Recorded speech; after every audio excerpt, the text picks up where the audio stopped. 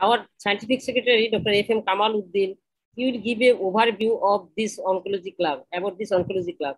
And the agenda, the our the faculties, they are all over the India. And Dr. Palok he created this and the, all the credits goes to Dr. Palok Topad.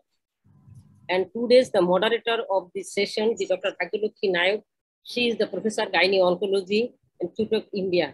And the faculties today are Dr. Nilesh Shabul.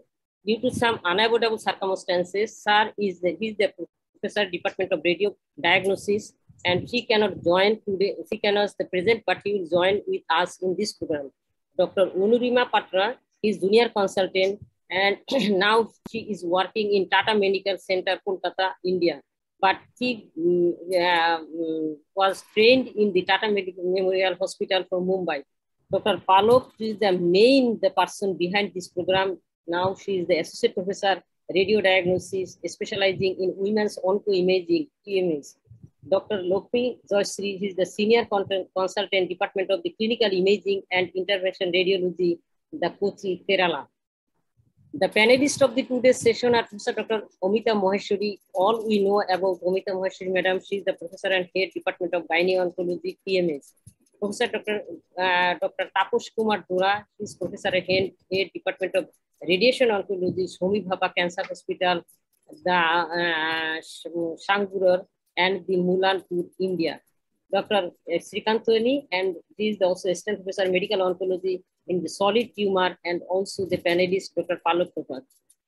The behind this program, the our always our illustrator are our scientific secretary and our the president, Professor Dr. M.S. Hai sir. This old man every day in every program is always with us. And Professor Dr. M.M. Shariful Alam sir is the general secretary of this oncology club the words can be like X-ray. If you use them properly, they will go through anything. You read and you are pierced. Good relations are like the needles of the cloth. They only meet for the sometimes, but always stay connected. And for this, we can make this program. And last but not least, I want to remember you all and invite you all the next program of our the Oncology Club program. After two years, we are going to organize the program, the Bangladesh International Cancer Congress 2022, and it will be in 17th to 18th November in Army Golf Club, Dhaka. Thank you all. Thank you. And now I would like to request our scientific secretary, Dr. A.F.M. Kamaluddin. Now I request our uh, chairperson of the Oncology Club, the president, the two-day session, and Professor Dr. A.M.A. Hai sir to um, give us permission and say something about the today's session and about the on, this onco imaging series. Sir, please over to you. Bismillahir Rahim. I'm really happy today to see that we could organize a series of gynae onco imaging. important. Imaging is a very, very important subject which we need for diagnosis or biopsy and for staging and also for follow-up. My request to all the participants, please attend very, very attentively and try to make things easier for you. You can put questions, any type of questions, make clear your views. That is my suggestion to all of you and my heartiest congratulations to Dr. Popat for organizing this thing. Fine session, as already have heard from Dr. Samakana, Tata Memorial Hospital and Oncology Club. Memorial Hospital is a very old one, very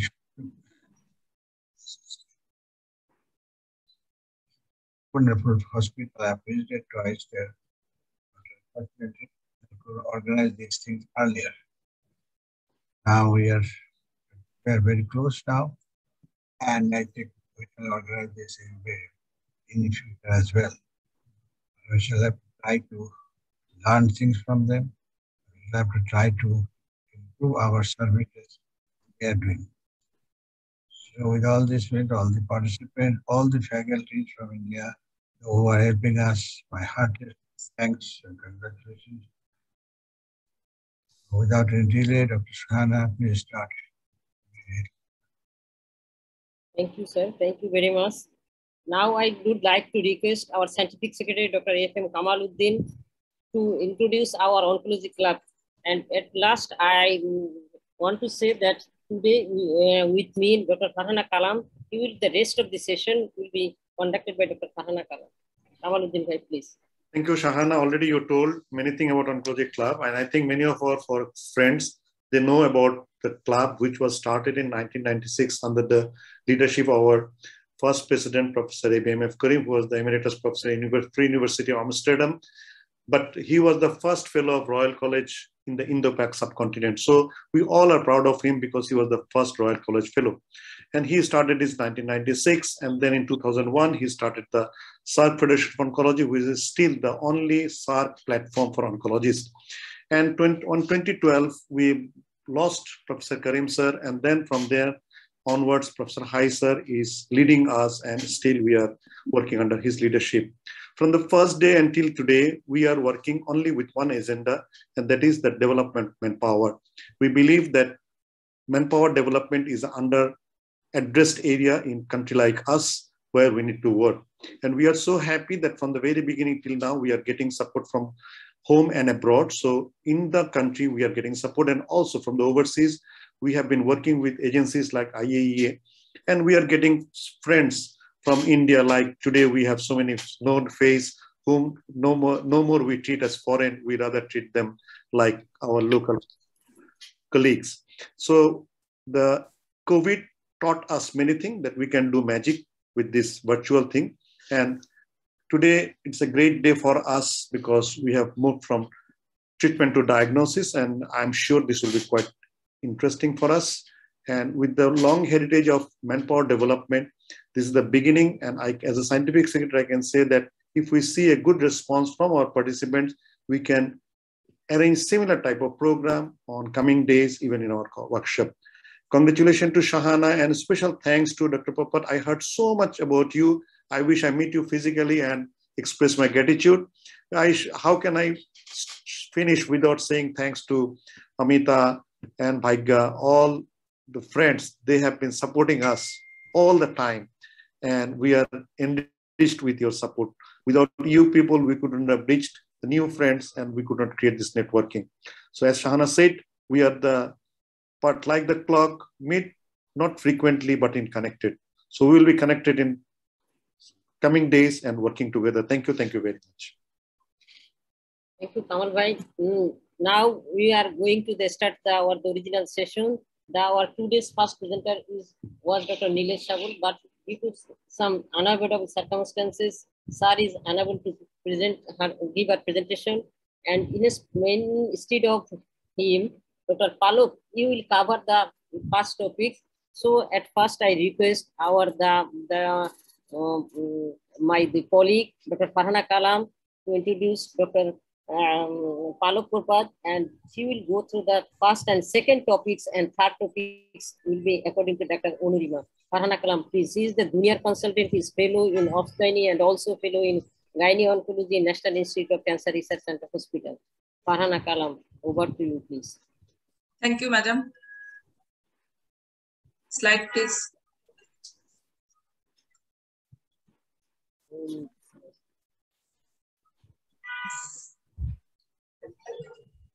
স্লাইডটা share করবেন please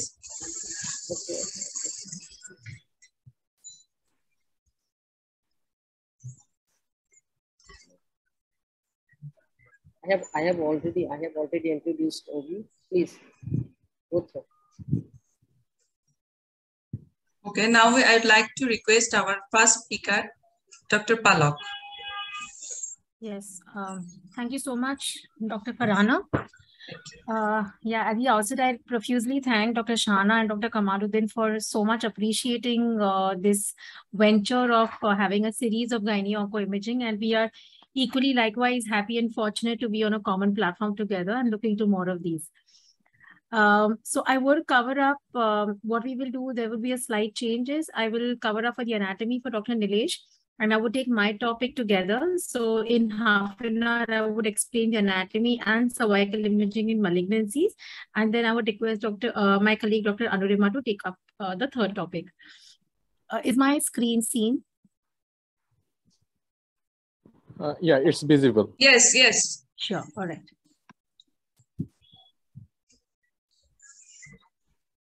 Okay, so uh, let me take you through the uh, anatomy part first. Yes, you can. Yeah. So uh, I would discuss the anatomy here, and then we would come to the staging of cancer for cervical uh, malignancies. Uh, Post-therapy assessment uh, that we see either on surgery or on radiation. Role of MRI and CT, so basically cross-sectional imaging, and an ideal reporting checklist. So this is the uh, sequence that we see on an MRI. So what is the anatomy that we are seeing here? The first image that we see on the left is the sagittal sequence. And the one on the right is the axial section. This is CT, uh, this is an MRI. So I believe there are a lot of gynecologists here. So I would stick adhere more to the basics. So how do you differentiate a CT scan and an MRI if you're just shown one film or a one cut that the patient comes to you? The first thing, look at the bones. The bones are all white on a CT scan and you don't see that high density structures on an MRI. Okay. So that's, that's your first uh, point taker. So now we are looking at this MRI. Uh, this is like our anatomy uh, textbook that we have studied. So we know this will be an axial section like how you see on the CT scan and an MRI gives you the sagittal section. Uh, either we take a sagittal section or we reformat a sagittal section. So in a CT scan, when we're taking an axial section, uh, we take thin cuts and we ask for it to be reformatted and we get a good thin section imaging on the formatted plane in an MRI, what happens is if we reformat, uh, the sections are thicker. So in a CT, if you're taking slices at every one or one and a half to two millimeters, uh, generally one, 1.5. In an MRI, you may have a larger distance between two slices. So whenever you have larger distance between two slices and we get that to be reformatted, we don't get a crisp image, which is why we need to take a sagittal plane separately. An MRI takes much more longer also because you take vis-a-vis CT scan, which just takes one thin cut and then you can reformat the way you want. Can we reformat an MRI sequence? Yes, we can. So that happens and we take the post-contrast imaging. Those sections are taken at very thin consecutive slices, 1 mm gap, and those can be reformatted to give a fair, equal accuracy of the image quality. Okay, so now let us look at the sagittal section. So we do identify it from the sacrum bone over here behind. Uh, coming anterior to that, this little gray structure over here is the rectum and the anal junction. Coming anteriorly, this stripe would be the vaginal stripe. And we see there's like a chalice-like cup over here. We have the anterior vaginal wall and the fornix. And the posterior wall goes higher, higher. And this is the posterior wall and the fornix. Coming yet anteriorly, we see the bladder. In this patient, the bladder is completely collapsed. So there is a little white urine that you see inside the bladder. And then the bladder is curving up in front of the uterus. Still more anteriorly, we have the pubic symphysis, and then we have the anterior abdominal wall. So this is the sagittal section. What is the gray structure seen here? These are the small bowel loops which are sitting atop the uterus. Now, how do you identify which sequence is it? So since you all are gynecologists and you all will be dealing with the pelvic imaging, look at the bladder. All right, if you see urine which is white and most of the structures are nicely seen as grays and whites, then this is a T2 weighted image. Why am I saying that is the first thing you can see is overall, is it, is all the background white color or is it black? So the fat appears white on T1 and T2 sequences, all right? But when we have a fat suppressed sequence, which is the stir sequence, all the fat gets suppressed, so it becomes black, all right? But however, uh, we do have uh, the structures which are fluid containing, which start appearing white. So when you have a whitish background, this is fat, so this will either be a T1 or a T2 weighted image. After that, go straight to the bladder and try to look for the urine intensity. If this is black, or dark gray, this is going to be a T1 weighted sequence. If the urine is white, because fluids are white, this will be a T2 weighted sequence. Okay. So we have, we know now how to identify the T1 and the T2. Then they take a stir sequence. Why is a stir sequence taken? That is when the fat is suppressed. So if you want to rule out a fat component within a lesion, that is where it helps. And uh, sometimes the metastasis in the bones or the marrow changes in the bones are more highlighted on a stir sequence and tumors and cancers in general are more brighter on the stir sequence. So we come to a T1, T2 and a stir. Which sequence is used uh, best for seeing the anatomy? And that is a T2 weighted sequence. In T1 weighted, everything is almost gray. So the fat is white and most other structures are gray except for blood, fat, so and certain acute stages of hemorrhage. Uh, but in the T2, we see shades of gray and it is the shades of gray that help us to diagnose and see the extent of disease. So we have the pre-contrast. Then there is functional imaging in which we do diffusion and we do uh, post-contrast imaging. A few sequence I'll show you in one of the cases, so that will explain. But what the basic principle is, uh, what is diffusion? We take, um, let's say you have a small box which is packed with marbles and it has only 10 marbles in a big box. So you put those 10 marbles and there is a lot of, and you pour water. The water can move around everywhere. So what is moving around everywhere? Let's consider the marbles as cells and the water is the intercellular space. So if you have a lot of intercellular space, there is a free motion which is possible, which is the Brownian motion for the molecules. And that means that there is a good enough room for everybody to move. But what happens is if this becomes into a, turns into a cancer. So those 10 cells have now grown into 1000 cells. So in that little box, if I'm putting 1000 cells and I pour in water, the water does not move in as freely because it is a tight packed compartment. So what has happened? The movement of that water has been restricted. So the Brownian motion of the molecules in the body has been restricted. And that is what we call as restricted diffusion. Okay, it is a sequence with a very horrible resolution. You do not see the nice structures very well, but it's about getting used to it to then identify the abnormal areas. Now, the diffusion sequence always goes in pair or hand in hand with something called as a ADC sequence. So when you when the patient comes to you either with a CD or films, you see there is a one blackish area and one whitish area with a very grainy uh, appearance. The resolution is not good. That is likely to be diffusion. It will be written on that DWI. So if you see something which is white on diffusion sequence, we see that this is restricted diffusion and we see an ADC. If something on that ADC is dark enough and black, so if there is a corresponding match of a white which looks black on an ADC, that is restricted diffusion. So which is why um, when a patient comes to you with a report, you may not have all the films. So it's nice to read the text of the report also apart from just the impression. I'm sure all of you all read the impression, the final line and do not read the entire text. But sometimes it helps because the, the, the faint signs and everything may not be available on a film, but the radiologist who's reported it will be looking into all, all of these things and uh, putting down in the paper. Okay, so this is about your basic MRI. We spoke of the sequences before contrast, the functional imaging. That component is a diffusion component and a post-contrast component. So what happens? We give IV contrast to the patient. It is different from CT contrast. Yes? It's just noise. Go ahead. Yeah. Okay. So in CT, we have a different contrast and on an MRI, we have a different contrast. So when this contrast is administered, there is something called as dynamic sequence. So you all know about the triphasic scans that happen, an arterial venous scan, a portovenous scan. So one contrast which is moving in the body in the vascular system and then to the tissues and we take multiple series of imaging so there is an early phase there is a middle phase there is a late phase that's a triphasic phase in a CT. In an MRI, what we do is we call it a dynamic sequence. So the dynamic sequence starts early with an arterial phase, and then we, we take like a series of six and seven sequences through and through that whole area is imaged. So what we see is we see how the contrast has come into the blood vessels. It is now perfusing into the tumor or to the normal body tissues. And then from there, it is now being taken up by the capillaries and into the veins. And there is some amount of tissue which stays, a contrast which stays in the organ. And the veins have also now started to opacifying. So we see this whole gamut of a vascular flow or a functional flow. And that can be seen on a map.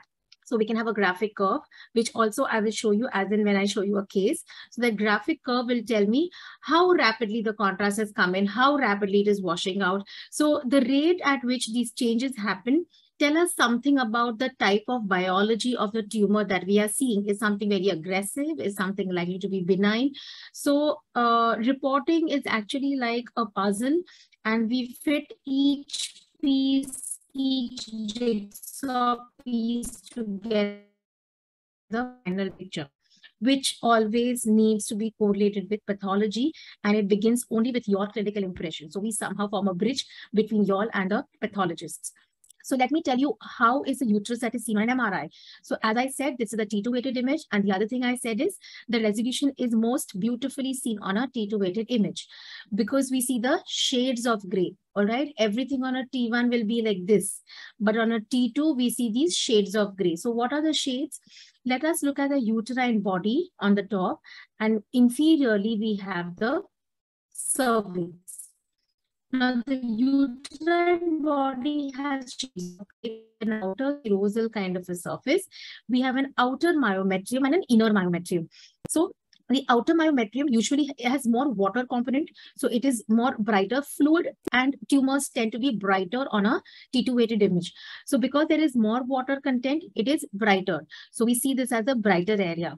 Coming down, you see a little darker strip. This is the inner myometrium. It is also called as a junctional zone. Here, there is a compact arrangement of the tissue. The water component is less, hence it is less gray. So this is going to be a little darker. So that is the inner myometrium. Now we come down. This is the endocervical junction. What do we see in the endometrial cavity? There's a thin little strip of gray tissue, a gray shade seen here. This is the apposed mucosa of the endometrial cavity. So let's come down along the endocervical junction. The endometrial lining continues down as the mucosal lining of the endocervix.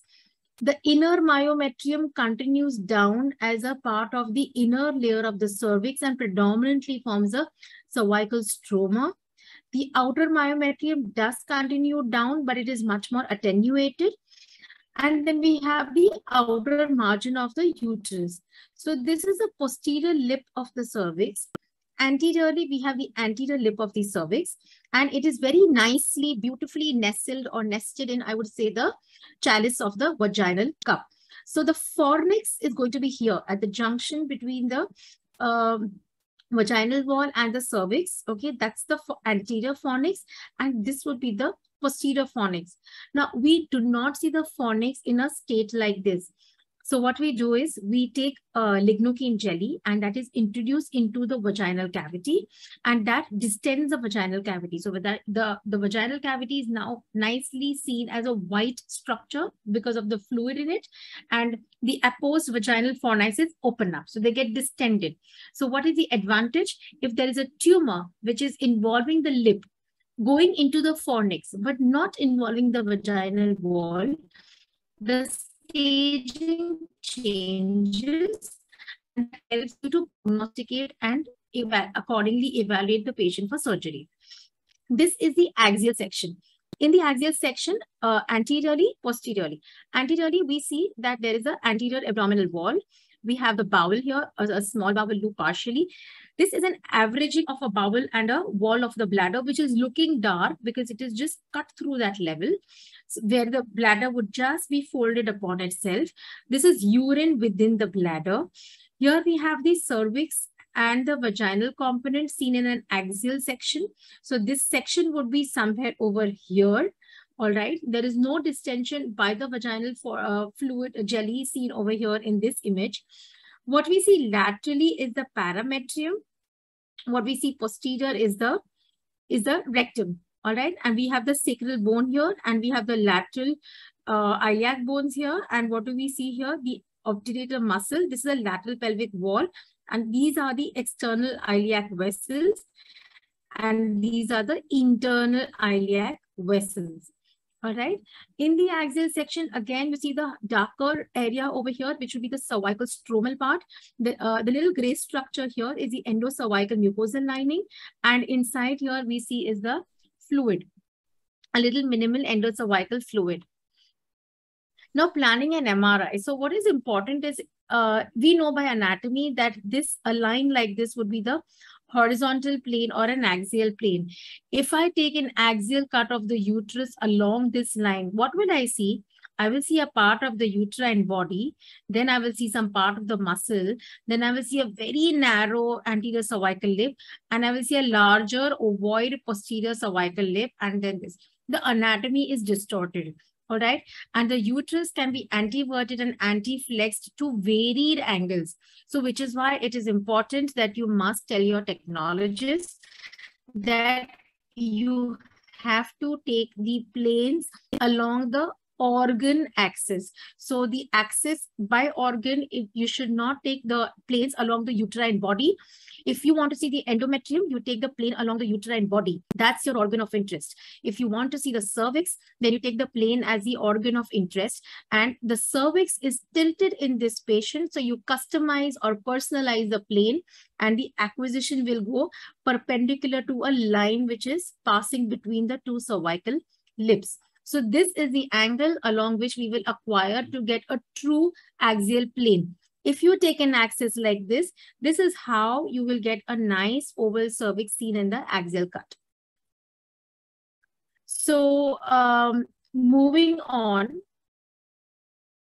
I would like to show the anatomy in the coronal plane. So we let's move according to the sequences from posterior to anterior aspect. We have the rectum seen posteriorly over here going down to the anorectal junction. That's the levator ani muscles. And we are again following the rectum. We see some part of a soft tissue here. We don't know whether this will be the bowel or that will be the uterus. We shall see. We have the sacral bone and the iliac bones on the side and the two femori. Okay, so that was a uterine body, which was a uterine myometrium. All right, the myometrium looks like a blob of gray structure, but when we come anteriorly, we start seeing a small amount of endometrial fluid within, and we start seeing the inner junctional zone, and we see the outer myometrium, which is more gray. This little dark part would be the junction of the endocervical area, which is more of a tight stromal component and somewhere down here would be your cervical component. So let's, let's go ahead. And this is what we see. The uterus is now coming anteriorly. We're seeing the whole structure. And what do we see here? This is the level of the uterine artery. So let us follow this structure and as you see, the uterine artery is beautifully seen to extend around and it was branching over here. This is on the left and this is on the right. It is difficult to take a complete axial plane to see both the arteries in the same section. But we see the, uh, the iliac branch coming here and then the branch off here. And this is the arterial supply to the uterus. All right. So then next we come to the axial section to decide the how do we define the parametrium. So we can draw uh, two parallel lines, imagine them passing through an arbitrary imaginary plane along the anterior and the posterior lip of the cervix. And then we drop two, uh, two oblique lines along the path of the uh, lumbosacral ligaments. And what would be on the lateral side would be your lateral parametrium. And then you have the anterior and the posterior parametrium. Uh, the anterior vesical space and the posterior uh, vesical space or the rectovesical pouch is quite, they are opposed structures. Uh, now, what is nicely seen as the lateral parametrium and we see whether it is confined to the medial half or to the lateral half and involving the lateral pelvic wall. So everything has a prognostic significance. But what I would like to say is that this is actually not a true anatomical plane. So the way we see the parametrium, this is not, there is no plane sitting for the surgeon to look into when a surgery is being done. So we will have some correlates to that. So let us imagine the patient to be lying in the position like this, and the uterus has been dissected partially and it is reflected off. We have the broad ligament uh, area over here. Anteriorly, is a reflection of our round ligament and posteriorly is the infundibulopelvic ligament. And this, uh, the plane which follows between this, this would be considered as a plane of the lateral uh, parametrium. Uh, we have certain other images. I would thank Dr. Amita Maheshwari for sharing these wonderful pictures which make our anatomy so good and easy to understand. The uterus is still pushed to the left and on further dissection, we are seeing the ureter coursing over here. The vessels from here would divide into the external iliac vein and the artery and the internal iliac vein and the artery. And further dissection is done deeper down into the parametrium. So parametrium is a dead space a surgical dead space, but radiologically it is seen as just loose tissue and fat and it appears white and we can identify changes of tumor growing within that area. Again, on further dissection, so with the uterus here, anteriorly, we'll have the para paravesical space. Posteriorly, we have the pararectal space because the bladder would be here, the rectum would be here. And we have the cardinal ligament over here, very beautifully dissected out. And further uh, inferiorly, if we see the uterus has been deflected anteriorly, and this would be the rectum. So we have posterior to the uterus and the rectum is a rectovaginal space. We have the ligament coursing along and lateral to it would be the pararectal space. This is the ureter. The cardinal ligament would be here. And we have the paravesical space would be anterior to this a drone view again to show if the bladder is anterior and then you, you push the uterus behind and this would be the cervix and the enfolded uterus in continuity and little dead space seen here would be the vesico, the vesico-cervical space and the ligaments. So uh, that was about the parametrium. Uh, obturator fossa, again, we see, uh, we just write that there are obturator nodes, but uh, it requires a huge amount of surgical dissection and going deep down to actually look for the exploration of the presence of an obturator node in the obturator fossa. So it is when it is so surgically challenging, it is important for us to better characterize the nodal assessment and the parametrial assessment to our best abilities. So how a normal node looks like. So this is the post-contrast image. So as I said, post-contrast images will be fat suppressed. So all the white fat that I showed earlier is all now dark and black because the fat has been suppressed. So the structures now start seeing up. So if this was a STIR, I would see fluid and tumor as bright. In a post-contrast, we see areas which is enhancing as bright. So we have the external iliac vein and artery over here, which is enhancing. The internal iliac vessels would be here. And what is this little white structure? This is a normal reactive node. There would be a hilum, and this is a definitely reactive node. This would be the enhancement of the myometrium, and then we have the bowel here and the bladder here. So uh, what is the nomenclature of the nodes and what is a region of uh, location or the Google map for the nodes? Okay, so we have the common iliac nodes, which would be higher up. Um, coming down, we have the external iliac nodes. These could either be lateral, middle, or medial. Now, as we course superiorly, the medial iliac node is uh, medial external iliac node is not very distingu distinguishable from the obturator node. So these are the obturator vessels so a node around this would be called as the obturator node. So when we are a little on the higher side, we can have a common nomenclature for the posterior external iliac node or the obturator node is the same thing. Just as the common iliac nodes uh, bifurcate, we have the hypogastric node, which is sitting below the junction of the two. And then we have the external iliac anteriorly. Okay. And then we have the internal iliacs. So this would be an internal iliac nodes. And then we have the anterior sacral, lateral sacral, and the presacral node. Now, what is the protocol? So the patient can sit fasting for four to six hours or uh, fasting is not very mandatory. We are trying to get down our system to no fasting because by the time the patient comes, changes weights, puts an IV, it automatically takes about two hours of waiting time. Antiperistaltic agent uh, may or may not be given is optional, especially when you're looking at the cervix, you don't have any bowel artifacts coming down to your cervical region. So we may not need an anti antiperistaltic agent. The bladder must be emptied prior to the scan. So by the time the patient, um, and the patient should be hydrated well enough. So hydrated patient with an empty uh, bladder, by the time they come for the scan and the scan happens, the bladder is kind of optimally distended. So half an hour prior to the scan, they can empty their bladders a consent, of course, a dedicated coil. The jelly is very important and I'll show you in some cases. So a small field of view imaging is important where you have smaller areas covered. They look, um, they look, uh, seem to have better resolution than seeing the entire pelvis together. So that's important, especially for small lesions. And we have the diffusion, T1 and the post-contrast sequences. So now coming to the staging of the cervix. So uh, Stage T1, of course, the less than 5 millimeter microscopic tumors we do not see on an MRI. What we sometimes, occasionally, we can see when there is a larger superficial component and less than 5 millimeter invasive component into this uh, invasive component would still be seen as a 1A disease. 1B is when it is 5 millimeters or more up to 2 centimeters. 1B2, 2 to 4, and 1B3 is more than equal to 4 centimeters. So let us look at this patient here.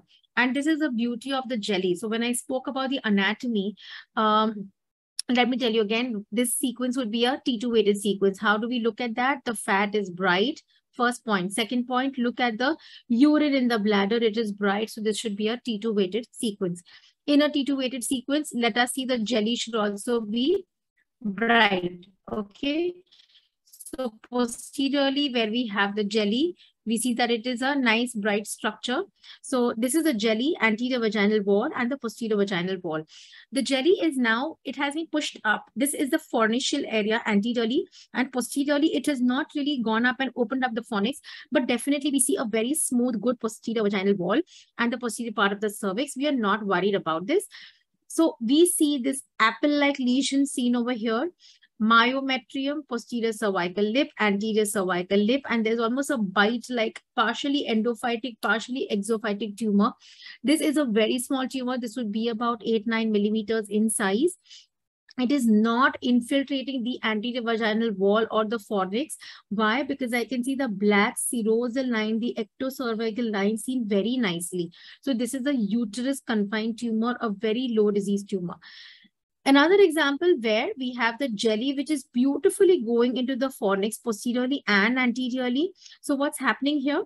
We see uh, that there is no involvement of the vagina. Per vaginally, we, uh, you would be able to palpate that there is an abnormality, there is a mass, you can see the mass, but you would not know the inner extent. So the depth of this lesion is where is seen very well on an MRI. It can be seen very well on an ultrasound also, but not on a CT scan. So when we see cases like this, this could have been a 1B2, but if you measure it and it is more than 4 centimeters, it would be a 1B3. Uh, an example where the jelly helps us again. So there's this large, more than 4 centimeter polypoid tumor, bladder white. This is the uterus, uterine body. Endometrium is hyper intense over here. It's because of hematometra. And this is the uterine body. This There is a small little fibroid in the lower part. And there is a large polypoidal lesion which is coming into the uh, vaginal uh, and the cervical uh, lumen. So we see there is a little bright fluid stripe seen all around, which means that this is not infiltrating the vaginal wall, though it is very close in contact with it. But we have a good space around, no involvement of vagina, more than four centimeters. Again, per vaginally, it would look like a very horrible mass, which is coming right up to the vagina. And the fingers may not be insinuating along the lesion to look at the vaginal wall infiltration. Or even if this is free, we would not know whether the vaginal wall is involved here or not. So this is how uh, an MRI can delineate it so well. This is a post-contrast delayed image, and this is a hematometra in the axial section seen in the uterus. Now tumors which grow beyond the uterus. So we have like upper two-thirds vagina, uh, 2A, and 2B is parametric infiltration.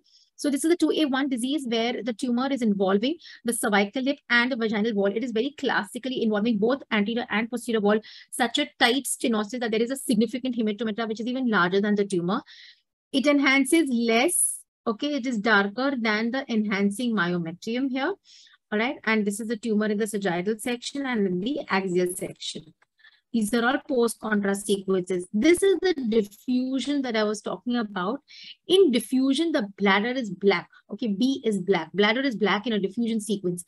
And uh, these gray areas are the normal soft tissue diffusion.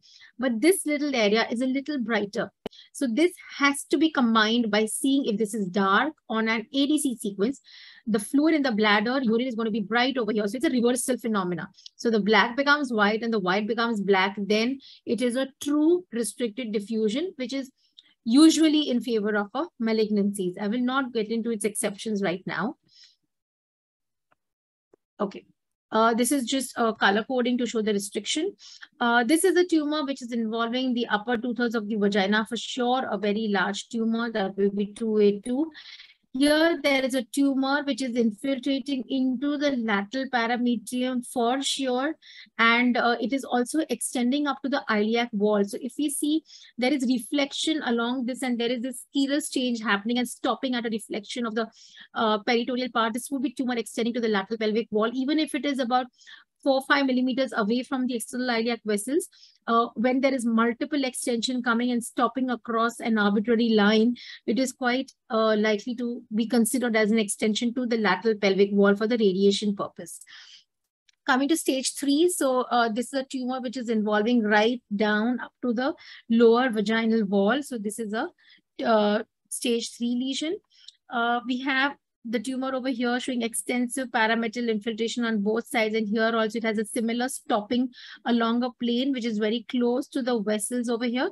This would also be parametrial infiltration to the lateral pelvic wall.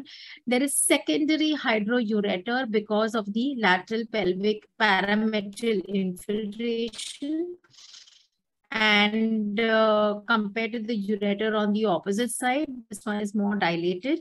And look at another section where it is going definitely up to the vessels and also up to the, the distended ureter, hydroureter on both sides, which is blocked by the parametrial disease here and on the opposite side. And this is the uterus in the midline with extensive uh, involvement along its lateral structures. A CT scan, as I said, the bones are seen white and rest of the structures are usually gray. This is a CT scan. And uh, for such patients with extensive pelvic lateral perimetrial wall in, involvement, if you feel clinically this patient has involvement right up to the uh, it, she definitely has involvement of the parametrium she doesn't need MRI. Don't waste money and time for her. Uh, she can easily go ahead with a CT scan because is on the staging and whether you want how much radiation, where the radiation dose, and for chemotherapy first. All right. So a CT scan very much does the trick very well. This is tumor. Uh, there is infiltration over here seen even on the CT and into the rectum, and there is secondary hydroureter.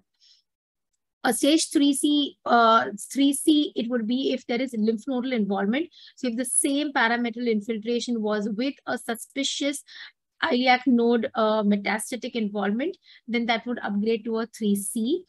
All right. Stage four is when there is involvement of the bowel uh, bladder wall. So uh, we see that there is some amount of high signal intensity over here, but there is a black line which is separating. So this tumor is not actually going into this. This is a false thickening of the bladder wall, which is called as a bullous edema. But if you have frank infiltration into the bladder wall, that would be a stage 4A and a 4B similarly for the rectum. This is a stage of metastasis where uh, we have bone lesions over here and there are lung lesions and lesions in the spine. Uh, adenopathy, regional adenopathy, which we said uh, is of a, uh, uh, it, it is usually involving the perivisceral iliac nodes and the common iliac nodes. The para-aortic goes to stage 3C2. So it is considered as a non-regional as far as the pelvic nodes are considered. We do measure the short axis dimension and the morphology is more important. So we have to look for nodes well because that will upstage the disease even with the same loco-regional extent. So uh, this is just about uh, a situation where you may have extensive lateral pelvic wall infiltration and uh, there would be no ureteric involvement. Like over here, there's definite lateral pelvic wall extension here and extension over here also. However, there was absolutely no hydroureter. So presence of a hydroureter saying it is a lateral perimeter involvement is not always correct on an ultrasound. So whenever uh, there is a, there is an equivocal value of whether local staging is going to be helpful, we must go ahead with an MRI and not uh, just be happy with an only an ultrasound. Of course, that is if an MRI is available and feasible because we don't stop uh, the treatment for the patient. This is the post-RT placement. We have the brachytherapy rods placed here. And then this is a tumor, which is very dark. So this is how the RT planning on an uh, MRI is done. This is the Foley's catheter into the bladder. In the axial section, we see this dark rod seen here, and this is also the uh, the the radiation uh, brachytherapy rod. This is a CT-based planning. Uh, this is an example of how an obvious tumor, which is seen here, uh, and this is the same tumor here, and in the coronal plane. It has a little parametal infiltration perhaps on this side. And she undergoes radiation as a treatment of cure. And the whole thing has undergone fibrosis. And even in the axial section, there is no evidence of any residual disease. And that is a very good cure. Uh, this is an example where the patient had already undergone surgery and post-surgery she had uh, come with a recurrence and the bladder is seen here, the bowel is seen here, the vaginal vault is, is not delineated over here, but it is replaced by an abnormal soft tissue which is infiltrating into the rectum, into the bladder, and a very bad recurrence. She was given radiation and post-RT, the beautiful um, response is seen over here. This is the vault area, the bowel has healed, the uh, the bladder wall has healed some residual tissue, but it was not looking like an active um, active aggressive disease, it looked like a responded disease. It did not show much enhancement. This is in the axial section. We see the response very well. Uh, this is an example of uh, uh for the CT where you see the metastatic node has now come down to this. This was radiation given for palliative treatment and it has a good response to the adenopathy and the hygrometria. Spectroscopy can be done sometimes. So we have an elevated choline peak over here, which was completely stunted, but we do not use it often because we have other parameters also telling us whether there is disease or not. Um, an example where uh, this patient over here, she had uh, an extensive disease, again, recurrence in the vaginal vault post-surgery. And uh, this is how the axial cuts are. And post-radiation, everything is gone, except for there's this little high residual bright area seen. And when we give post-contrast, it has a very submucosal enhancement and edematous layer. So this is more of a post-RT change of edema rather than tumor, which was seen inside the vaginal area earlier before the RT. There are complications where you might, the patient might say that there is now complaining of urine passing through her vaginal opening and there can be occult fistulous communications. So this looked like a partially distended bladder, but a good delayed scan or a retrograde uh, Just wait for 15 minutes and take an additional screening and we see the contrast coming out through a fistulous tract into the vaginal cavity. Uh, an example where uh, we see uh, nothing else, just routine on a post-RT follow-up, but complaining of low gluteal region pain on both the sides. And she had this low signal intensity line seen here and over here, and a little high area. Look at the STIR, the fat uh, suppressed sequence that I was talking about. So the bones are black because the fat in the marrow is suppressed, but this is an abnormal area here and over here. So this is all edematous changes. These are insufficiency fractures, bilaterally symmetric. This is a post-radiation change. Uh, so it's it's important to know because first it has to be seen and if it is seen, it need not be given as metastasis. Uh, this is an example of how there was a recurrence which was picked up even on CT. And this is just to show how on a CT, the bones which were gray are now much more blacker because there is fatty marrow replacement after a radiotherapy the role of MRI, I would just sum up, is to have a good loco-regional extent. So if there is a patient who has a large disease uh, on your clinical examination parameter involvement, which is definite, she can go ahead with a CT unless you want to do an MRI-based planning. So she would not need a CT for diagnosis and staging. All right? But if there is a patient who has an equivocal finding, we must go ahead with an MRI whenever available. If not available, then a good transvaginal ultrasound and clinical examination can dictate the further treatment. Role of CT, as I said, is more for overall distance staging as well as larger disease. Uh, the role of dynamic MRI, uh, just so over here again, we have a nice frond-like polypoidal growth coming out of the cervix. The vaginal jelly is beautifully outlining both the anterior and the posterior fornices, telling us that this is a uterus confined disease, cervical confined disease. The axial section is also well showing the tumor. We know these are vessels, but we don't know what's happening here and whether there is any parametrial spread because that is now going to change the disease management.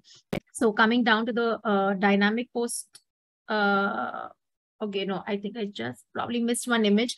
But when you do see the dynamic post contrast images, all these vessels, they start lighting up. So the some of them will brighten up in the arterial phase, the others brighten up the, in the venous phase. So there are venous channels and arterial dots. So all of these are seen enhancing as one area and the tumor is enhancing a little differently. So that tells us that this demarcation is done on a dynamic post contrast. It improves the sensitivity and specificity to some extent of telling whether there is parametrial infiltration or not.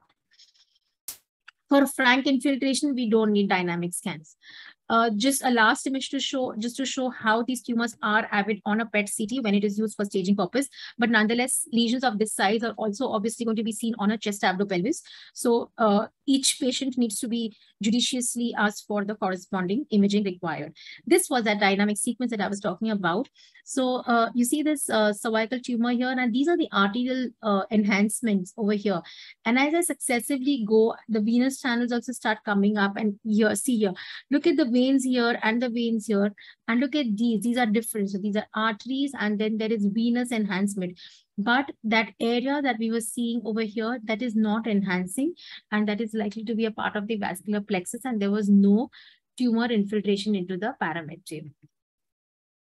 So the checklist would consist of the size, the site, morphology, approximate percent of stromal involvement. It is a very arbitrary and subjective parameter. Vaginal involvement, parametrial involvement, and extent lateral pelvic wall, bladder and rectosigmoid colon, so much.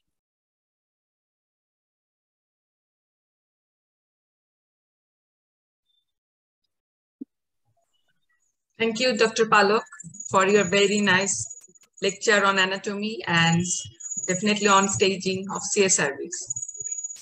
Now would like, I would like to request our next speaker, Dr. Anurima Patra, for her lecture. Her topic is Role of Imaging in Malignancies of the Uterine Corpus and its Implication and Management.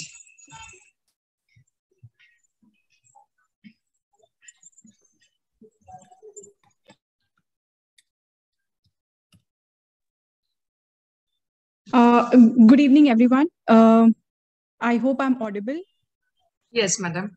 And uh, can you see my screen as well? Yes, yes.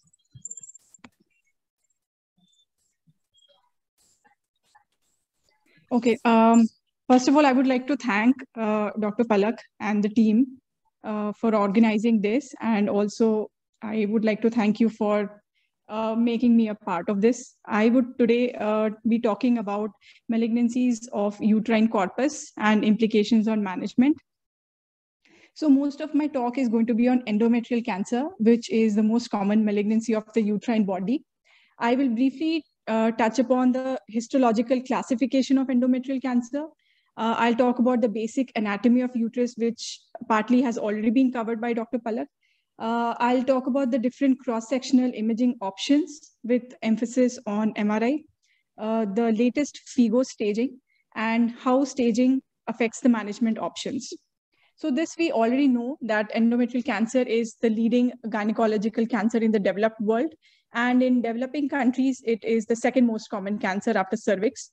Uh, the peak incidence is typically 60 to 70 years in postmenopausal women who present with postmenopausal bleed uh, in the background of certain risk factors such as um, high estrogen exposure, tamoxifen um, uh, intake, uh, nulliparity, obesity, etc. But in up to 30% of cases uh, can be seen in premenopausal ladies as well. Uh, this is essentially a screenshot of the two histological types. Why we need to know it is because one type is more aggressive compared to the other type, and the management, uh, the treatment options are different for both. Type 1, which is the more common one, is also known as the endometrioid variety. These are the low grade ones, the less aggressive ones, and fortunately, the more common ones as well. The risk factors for this is estrogen excess, obesity, infertility, etc. And that's why this happens in the background of endometrial hyperplasia. Typically, it involves younger women, so early postmenopausal or premenopausal ladies. These are essentially low grade. So grade one and grade two are the common types of endometrioid variety. There is a grade three variety as well, but when it is a grade three variety of endometrioid, it goes into the type two. And these, this has got a better prognosis. The type 2, on the other hand, this includes the non-endometrioid varieties, which are the clear cell, the serous, papillary, carcinosarcomas, etc. These are, are basically, these do not express estrogen receptors and they occur in older women, postmenopausal ladies, and these are high grade. So these are the more aggressive subtypes. And these are the uh, patients who have a poorer prognosis. And when uh, histopathology is suggesting a type 2 endomet- non-endometrioid variety, that is when we have to look for endometrial, uh, myometrial invasion uh, more carefully, extrauterine disease more carefully. So uh, the prognostic factors, so there are certain factors that decide the patient prognosis once they are diagnosed with an endometrial cancer. These include certain factors that are picked up on pathology, that is the histological grade I just mentioned, uh, lymphovascular invasion. The last three, the depth of myometrial and the cervical invasion, the size of tumor and nodes are also important prognostic factors, and these are decided on imaging. And these factors, so these prognostic factors basically correlate with uh, poor survival, a higher tumor grade, and presence of distant metastasis when we have these factors present. So if we have node positive, either regional or distant node positive, if the tumor is tumor, tumor size, big tumor sizes, or if there is a presence of uh, more than 50% myometrial invasion, etc. And if there's a histological type 2, that is the non-endometrioid type, these are poor prognostic factors, and these patients are likely to do, do poorly. So why do we need imaging? Imaging is essentially to decide the management. The treatment options will depend upon the tumor stage and the type and the grade. The type and the grade are decided on pathology, and MR comes into play when uh, we need to stage the disease. So role of MR is uh, is to uh, basically decide if there is myometrial invasion present or not, if there is extra uterine invasion present or not, if uh, if so, which ultimately translates to whether the patients is going patients are going to require a nodal dissection and whether the patients are going to require an adjuvant therapy. The aim is to overtreat patients who have a low risk disease. Sorry, that means uh, patients who have a low stage or they have a, a good subtype histologically. So the indications of MRI, uh, NCCN now recommends MRI for these indications. One, assessment of myometrial invasion. Second, to find out the origin of tumor, whether it is arising from the cervix or the endometrium. Third, when fertility sparing treatments are being planned for endometrial cancer. Fourth, uh, to rule out any cervical invasion. And five, when you have an aggressive histology, which is the type 2 histology. So how to scan properly already covered in the previous talk. I'll just quickly go through this. So we scan uh, patients with an empty bladder. Best the, that they evacuate the bladder about 30 minutes prior to the uh, uh, the MRI. Then pervaginal jelly is optional for endometrial cancer detection. Uh, I mean staging on MRI. We do not really require pervaginal jelly. This is only required when the clinicians have are palpating some tumor which is protruding through the vagina, um, I mean, protruding through the cervix into the upper vagina, and they want to look for involvement of the cervix and the vagina. That's the only uh, indication of giving a jelly. But otherwise, if these areas are clinically free, or if there's an uh, ultrasound or any other imaging done elsewhere, which mentions that the disease is limited to the endometrium and not going down into the cervix and vagina, we can avoid giving this jelly. Third is the antispasmodic agents. This is optional, but better to give them because uh, uh, uh, these will take care of the peristaltic movements and we get good quality images. And menstrual cycle, we do not really need to uh, do these scans in any particular phase of men menstrual cycle. So uh, the endometrium can be in any phase. What sequence are acquired, I will just quickly go through this. Uh, so T1 is not really required for staging. The only role of T1 is to look for any hemorrhage or to give an overview of how the bones look like, whether we are going to find any bone metastasis or also to look for nodes. But these things can be well seen on T2 as well. The more important sequences are the small field of view T2 sequences. So these are acquired in three orthogonal planes. These are small field of view. We uh, acquire them along and parallel to the uh, plane of the uterus. These are the oblique, sagittal, axial, and coronal, the most important three sequences when it comes to the local staging of MRI. We also take large field of view T2 axial, which, uh, which is basically to assess the nodes. And this has to include the para-aortic region and not just the pelvis. Diffusion are typically uh, acquired with high B value of at least 800 to 1000. And then of course we do the dynamic contrast images, uh, imaging as well. I will show some examples in the subsequent slides. So this is the imaging plane the plane of acquisition is very, very important. I'm just trying to show you how we acquire the small field of view oblique sequences here. And for that, it is very important to remember that the orientation of the uterus can vary and the technicians who are performing the scan should be aware of that so that they can plan the oblique sections according to the plane of the uterus. First, a sagittal image is acquired and depending upon the plane of the endometrium or basically the angulation of the uterus, the oblique axial and the oblique coronal images are acquired. Now, why is this important? This is important because uh, this optimal plane of imaging is important to assess the depth of myometrial invasion. That's one of the most important piece of information that we are expected to provide. And if we do not uh, acquire these oblique sequences in the three orthogonal planes along and perpendicular to the axis of the uterus, then we will not be able to assess the interface, the endometrial myometrial interface correctly. So uh, this is dynamic contrast sequence. So we acquire a serial dynamic contrast enhanced sequences in sagittal plane. And these are essentially 3D gradient sequences and they can be reconstructed in an axial plane later. What we see here is a progressive enhancement of the myometrium here which is this peripheral part of the uterus. And uh, this is because the myometrium is very vascular and it is it enhances more than the endometrium and also the endometrial cancer. So first we take a zero second, this is a pre-contrast, a non-contrast fat saturation image. And then we acquire multiple subsequent images. Uh, here we see a, image at around 30 to 90 seconds or about one minute. This is best to see the uh, the subendometrial enhancement. Not seen very nicely in all cases, but if we see it and if it is smooth and intact and nicely surrounding the endometrium, we can be pretty confident that there is no myometrial invasion. And then this one is a, a, phase which is taken at around two to three minutes. So we see that the myometrium enhances progressively and here the myometrial enhancement is seen beautifully. If th this is useful for assessment of deep myometrial invasion. And then this is a delayed phase. This is acquired at typically four minutes and best for the assessment of cervical stromal invasion. Uh, anatomy already covered uh, by Palak ma'am. I will not go into any details. I'll just quickly show you that this bright structure in the center is the endometrium. This is continuous with the endocervical canal. Surrounding this is this black structure, which is nothing but the inner myometrium or the junctional zone. And this is continuous with this dark rim in the cervix which is the uh, the uh, inner fibrous uh, cervical fibrous stroma.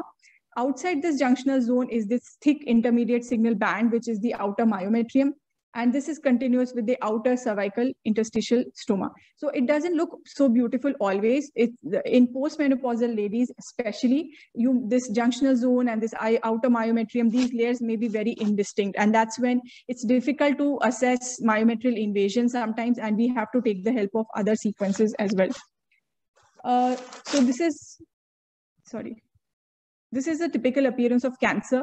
So when you see this, and when you see an endometrial cancer, it looks uh, like an intermediate signal lesion occupying the endometrial cavity. Normal endometrium is bright. Here we can see a part of the normal endometrium seen adjacent to the lesion. And this is the junctional zone, the dark border which is surrounding it. And then this is the myometrium. So typically endometrial cancers look hyper intense compared to the myometrium and they look hypo, I mean, uh, slightly intermediate to dark compared to the normal myometrium. The FIGO stage, we all are aware of this. This is actually a surgical staging. This is not a MR staging uh, and imaging is not a part of it. But as per the latest NCCN guidelines, so they have acknowledged the role of MRI now for loco-regional staging, and they recommend that MR has to be performed. It's a must for staging before deciding the surgical plan. So you can apply this FIGO staging on MR images as well. One thing to note is that in this stage, there is no size criteria. So we are only talking about the depth of myometrial invasion, cervical invasion, invasion of the uterine serosa and extrauterine extension, involvement of vagina, parametrium, nodes, bowel, bladder, distant organ, etc. So we are not really talking about the size. The size of tumor in endometrial cancer only has prognostic significance and not staging significance. So how do we identify less or more than 50% of myometrium? This is very important. The first thing that we assess on MR, this is always seen on the axial oblique T2 images. What we do is we uh, draw a line parallel to the presumed inner edge of the myometrium. And then we drop two perpendicular lines, one till the serosa and the other one till the margin of the tumor. And the ratio of these two lines is the depth of invasion. I'll just show a few examples. This one is a 65 year old obese diabetic female with spotting. So what do we do next? So from the history, we are thinking of a endometrial cancer, maybe of a type 1 variety. Uh, what what was done next for this patient is a biopsy. So this is what happens in the uh, real clinical scenario. Most of the times the patients come to us after they have been diagnosed as endometrial cancer on biopsy. So first there are clinical symptoms, they go to the doctor, they get a biopsy done, they have a biopsy proven cancer and that's when they come to us for imaging. So what next? We obviously will do an MRI pelvis. So what we see here is this intermediate signal lesion, which is expanding and filling up the endometrial cavity. The junctional zone, this dark rim is seen or here very nicely, but it's a bit indistinct here. But we do not really see any tumor which is going into this myometrium.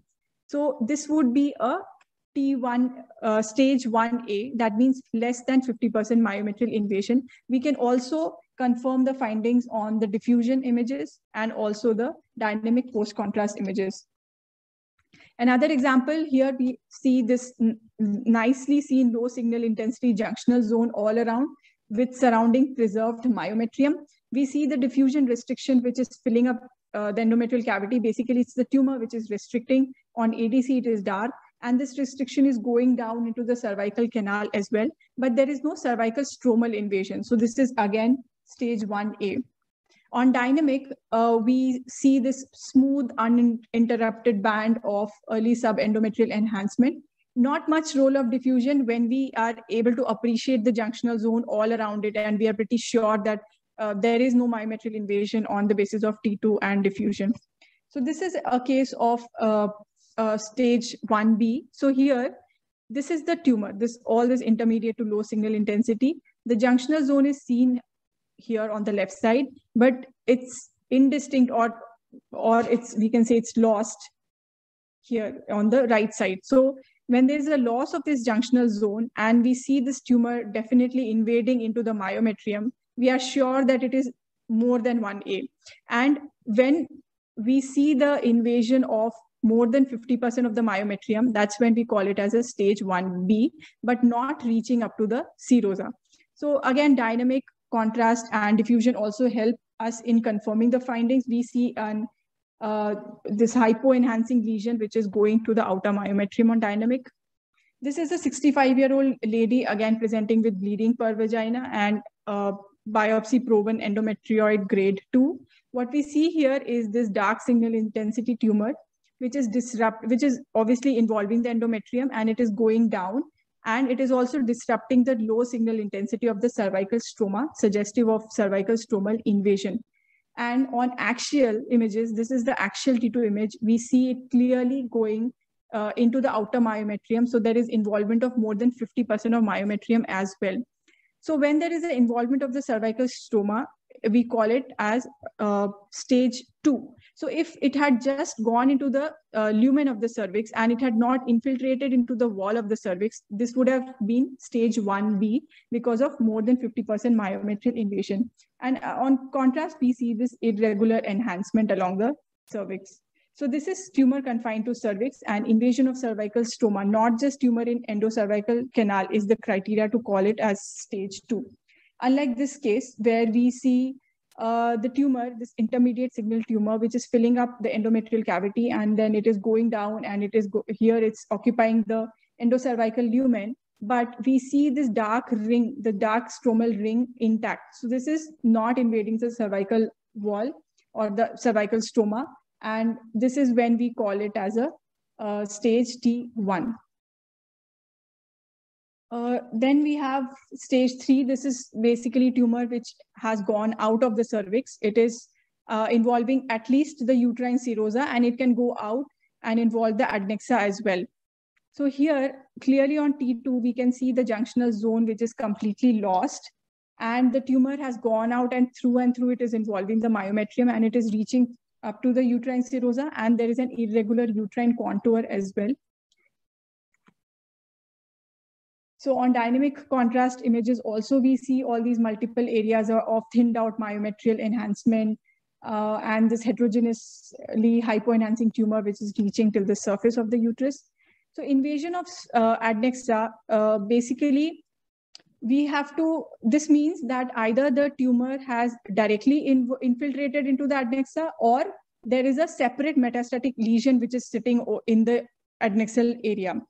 And the diagnostic clues to in, say that the ovaries are or the adnexa is involved is when we see bulky nodular ovaries uh, with a signal intensity which is similar to the signal of the endometrial cancer. Stage 3C is involvement of the regional nodes, which include the paraaortic nodes as well. Unlike CS cervix, paraaortic nodes are considered regional nodes. And when do we call them involved?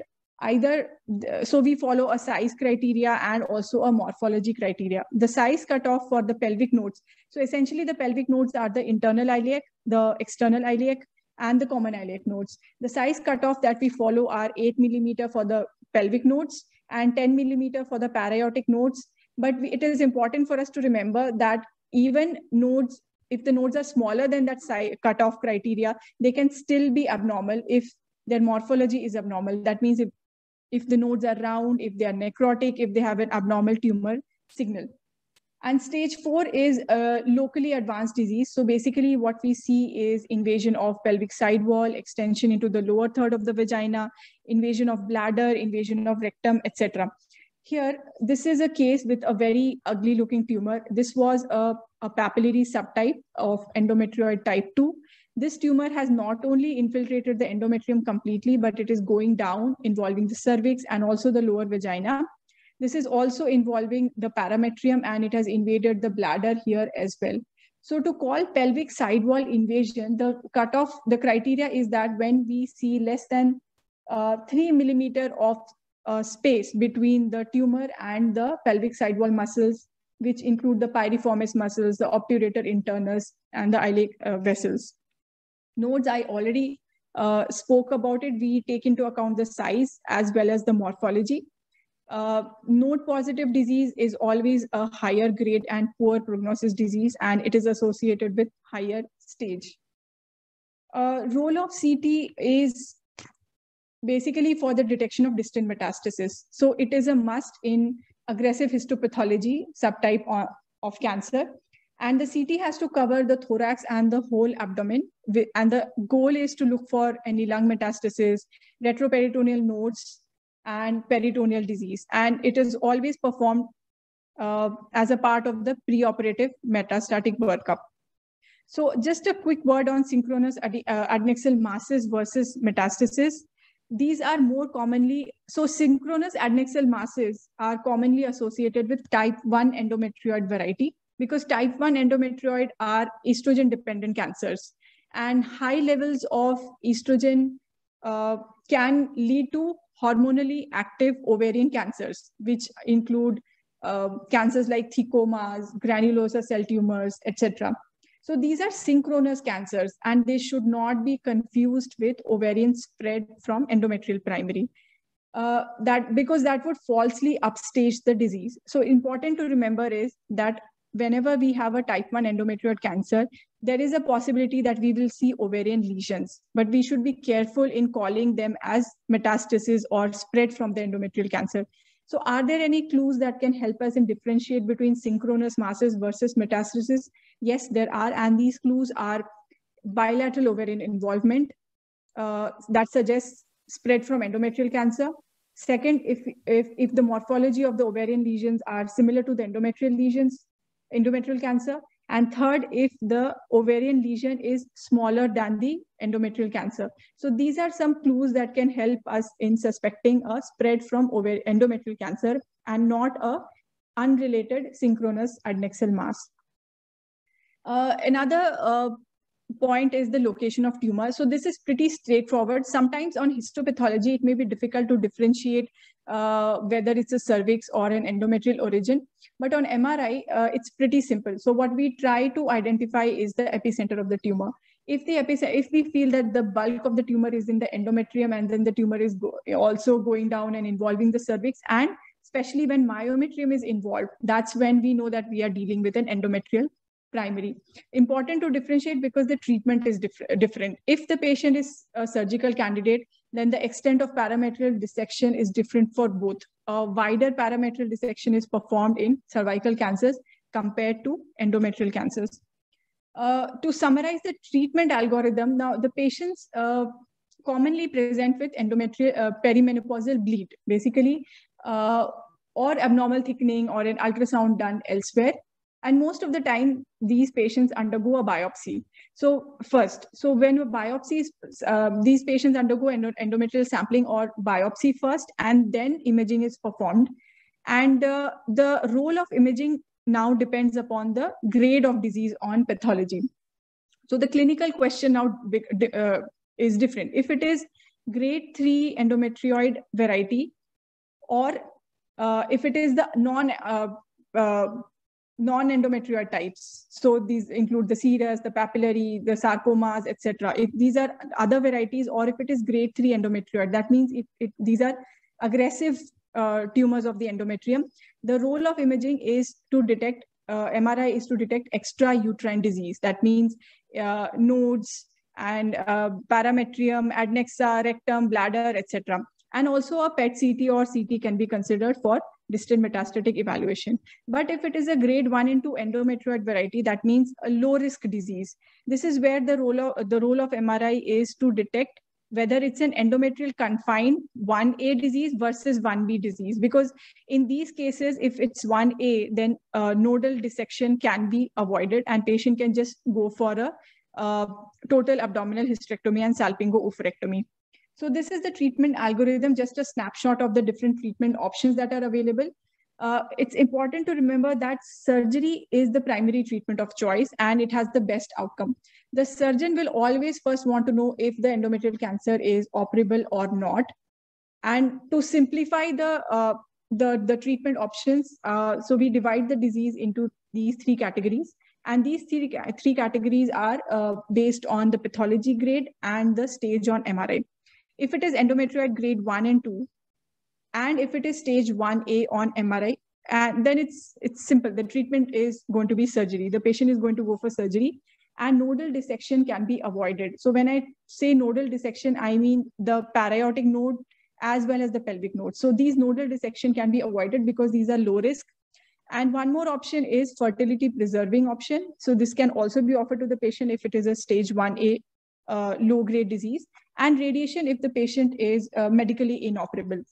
If it is non-endometrioid varieties or if it is endometrioid grade 3 or if the stage is 1B onwards, so it's 1B, 2, and 3, then again the patient can go undergo surgery. But this time a lymphadenectomy is must. So the para-aortic nodes and the pelvic nodes has to come out.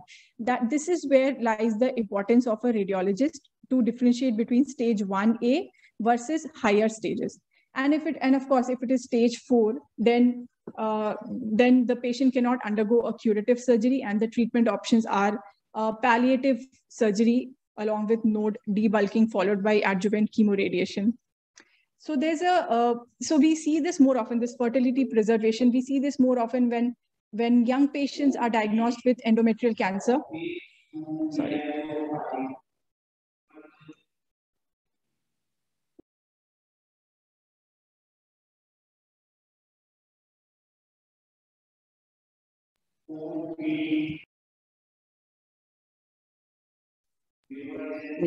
Obir, Sorry about that. Sorry about that. Yes, madam. Uh, so, okay, so basically, um, so when young patients are diagnosed with endometrial cancer and they are keen on preserving the uterus to have kids in the future, that's when uh, uh, fertility preservation comes into the picture. This is not standard of care, but many institutes offer it and there are certain criteria that have to, have to be met for it. Uh, most important being absence of myometrial invasion, no extrauterine disease, and uh, grade one tumor. Obir, please mute the centrally. Except the faculties. Yeah. Obir. So to summarize, uh, it's good to have a checklist in mind so that all the relevant information is covered in the reports. And we this, that in, can you hear me? Amrun please. Sorry, there's some noise in the background. Yes, yes. So please. this is just, I'm just summarizing the this talk uh, with this slide. Just want to highlight that whenever we report an MRI, we have, this is the information that has to go in the report. We have to talk about myometrial involvement, whether it is less or more than 50%, or whether it is involving the serosa. We have to mention uh, cervical stromal involvement present or not, the parametrium and the adnexal involvement, the nodal stages, uh, status, and presence of any peritoneal metastasis or any distant metastasis. So I will conclude with this.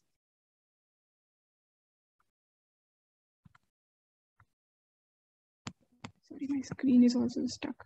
Okay, thank you.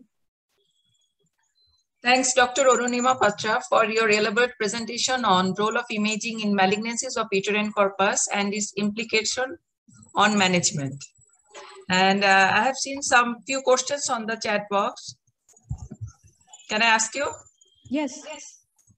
Uh, is one is how can we differentiate synchronous cancer from endometrial cancer? So endometrial cancer, synchronous meaning Synchronous, uh, synchronous endometrial ovarian, SCOC. ova- ovarian, right? Yes, yes. Yeah, so basically, um, sometimes it can be a challenge, but we can look at, so the synchronous cancers are usually on one side. If ovarian cancers can be bilateral, ovarian cancer spread to ovary. Second is that if the uh, ovarian, if uh, we also look at the histology. So if it is a type 2 uh, endometrioid uh, endometrial cancer, less likely that it will be a synchronous malignancy. It's going to be a metastasis because uh, synchronous ovarian cancers are more common, uh, are common in type 1. bec- The tumor signal intensity in uh, synchronous ovarian uh, cancers will be usually dark. Those are the thecomas, etc., fibromas. uh, so they will show a dark T2 signal. Whereas a metastasis, ovarian metastasis from endometrial cancers, they will look T2 intermediate signal, which will be very similar to the signal of the primary tumor in the endometrium. Yes, thank you. So, Uh, there, there is Yeah. another question from Shana, madam. Madam, please. Uh, before that, I want to ask you the question because always we don't, because histopathologist after the surgery, but before surgery, how can you differentiate whether, whether it is metastasis from the endometrium to ovary or otherwise synchronous? Because sometimes we get patient that today, just today, we have get a patient, so we have the, the endometrial thickness is more than half and bilateral ovarian tumor and also the there was but there was no ascites. In that cases, the patient was uh, minimum ascites and then the patients, the referral doctor, she did the staging laparotomy with bilateral salpingoperectomy, omentectomy, everything. But the final report was the endometrial malignancy with the ovarian metastasis. It was also the bilateral. And there was the also minimum ascites, and but there was no lymphadenopathy. In that it is the sometimes we can this patient, she didn't do the, uh, in that cases, the always the bilateral, it doesn't significantly the causes that is the um, endometrial uh, uh, synchronous. Correct. So bilateral involvement, it favors uh, metastasis from endometrial cancer. Ovarian cancer also sometimes it may be, yeah. That it, it may be, it yeah. may be. So one yeah. thing is that whenever in doubt, uh, there yeah. is no harm in raising a suspicion of metastasis because these are patients usually elderly more than 60 to 70 year old. So if uh, they will anyways undergo a um, hysterectomy and bilateral salpingo-oophorectomy, right? She has also the probably she has also the cervical involvement and other things simple hysterectomy yeah then Shana, please. There is another question from you shana madam. Uh, can you ask or may i read that question? No, uh, we have another question that is sometimes we found uh, myometrial invasion with endocervical growth. And how can we image, uh, uh, differentiate this in imaging whether it is endometrial cancer extension or squamous cell cancer of the cervix. Whether it is uh, okay, so uh, do you mean like two di different growths, or so we, yeah. if it's a endometrial by imaging only, right? Uh, yeah. We know so after histopathology or immunohistochemistry, we can differentiate it by whether there is any uh, uh, tricks on uh, MRI to read out whether it is endocervical involvement, whether it is by endometrium or by the cervix uh, squamous cell cancer of the cervix.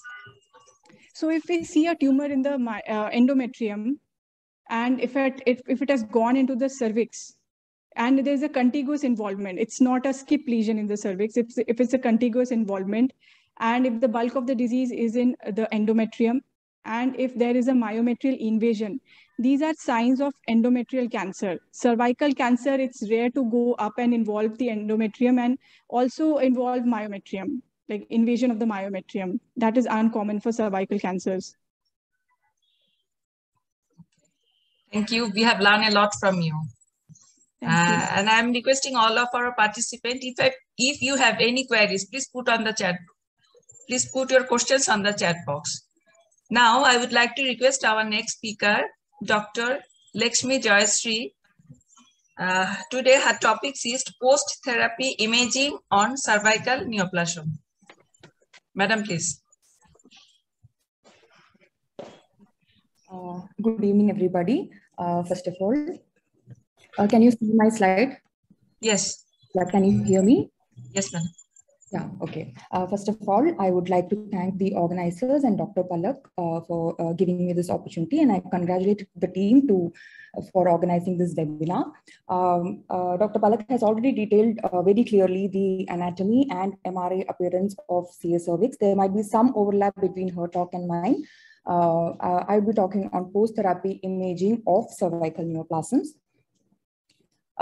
and overview of my talk, first I'll be talking about the role of imaging, uh, the treatment options that are available for CS cervix, uh, radiation planning and how imaging uh, helps in radiation planning, normal appearance of the pelvic structures uh, uh, on MRI, and residual and uh, recurrent diseases.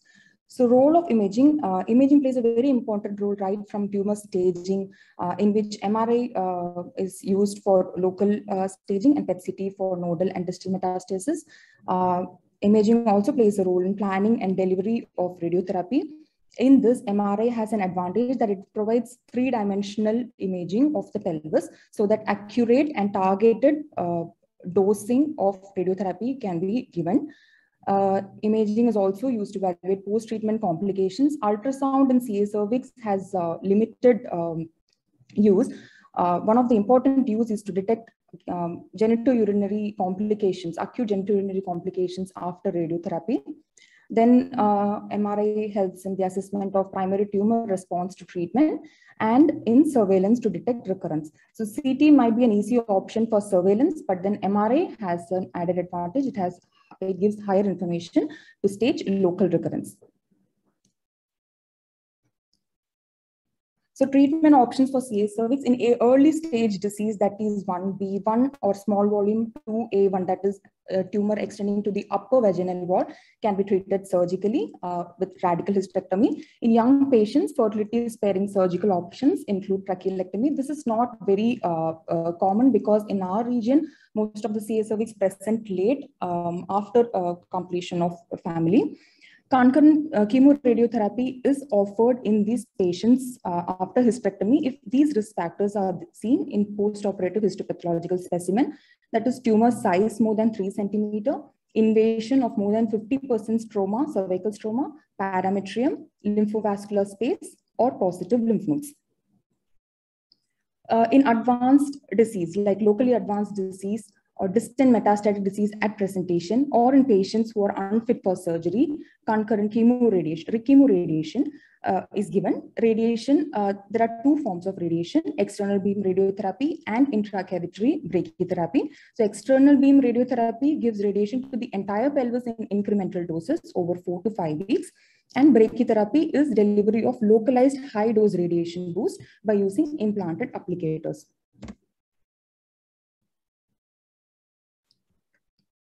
Uh, so imaging and radiotherapy planning, both CT and MRI can be used. That this imaging um, uh, gives way to accurate delineation, targeting, and delivery of required radiation dose to not only the grossly mm. visible tumor, but also potentially microscopic, microscopic tumor. 4D CT and MRI also take into account movement of the structures, uh, movement of the cervix in relation to distended bladder, distended bowel. All these uh, factors are taken into consideration, and the target volume for radiation is planned according to uh, based on these 3D images. So pelvic radiation by default also affects the non, uh, uh, uh, uh, structures adjacent to the cervix like the bladder and the bowel. In a brachytherapy planning, ultrasound guidance is um, helps to guide the uh, tandem applicator into the endocervical canal and the endometrial canal uh, CT and MRI uh, compatible applicators are available, which has uh, more um, soft tissue resolution. So um, if the applicator is out of place or it, it, has in, it has been introduced into the myometrium, we can see clearly on a sagittal T2 weighted MRI image and it can be repositioned. If there is breach in the serosa, we call it uterine perforation. Bowel perforation is uncommon with um, tandem applicator, but vesicovaginal fistula is common after brachytherapy.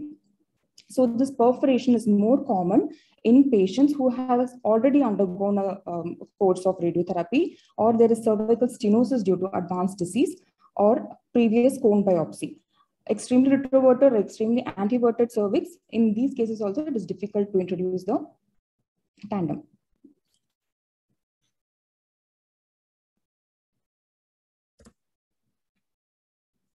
One second, I think my system, um, yeah.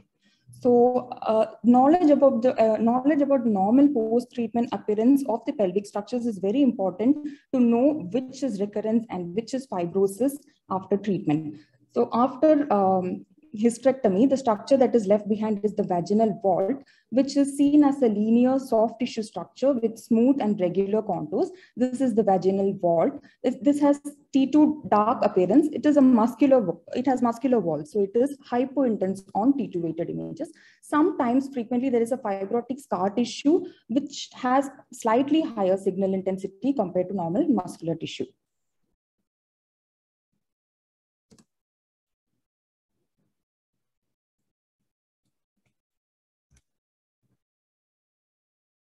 So normal post-treatment appearance after radiotherapy. So we can see that this is the, uh, the uh, initial um, scan where there is tumor, there is a mass involving the anterior lip of the cervix.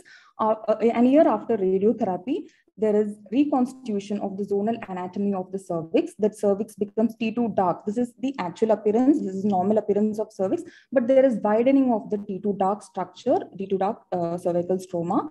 Further down, uh, um, further two years later, there is more fibrosis. There is uh, uh, the demarcation between the anatomical structures in the pelvis becomes less delineated. And also there is fat stranding in the parametrium.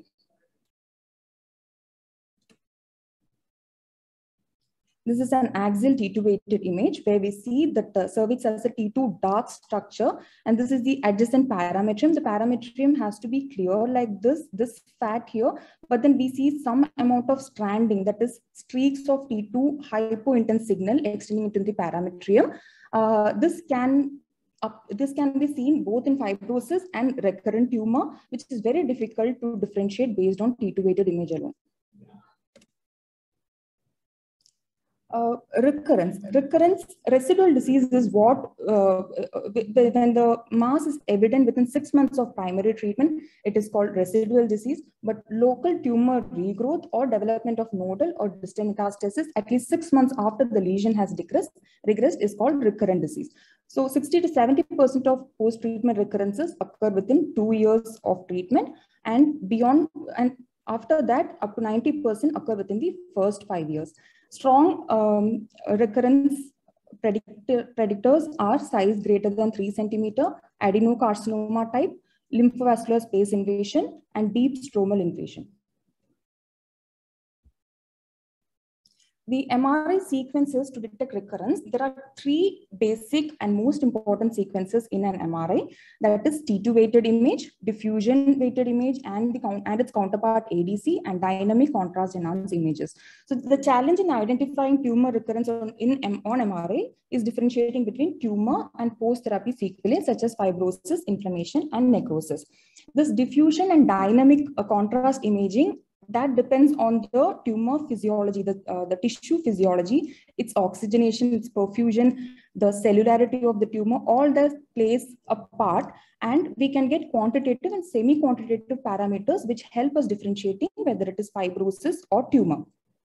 And intravenous administration of contrast material and DWI help in distinguishing between this. So this, um, these are the three sequences I was talking about. A normal cervix after radiation treatment will have dark signal on T2 weighted images. There will be no uh, signal, no high signal intensity on diffusion weighted image, and there will be no contrast enhancement or delayed contrast enhancement with it. Early contrast enhancement is a sign of recurrence.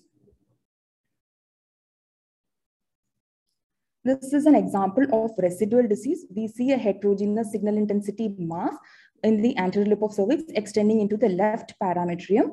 This is after radiation therapy. This is uh, three months after radiation therapy the tumor has shrunken very much in size, but then we still see a T2 hyperintense soft tissue mass along the left lateral wall extending into the parametrium.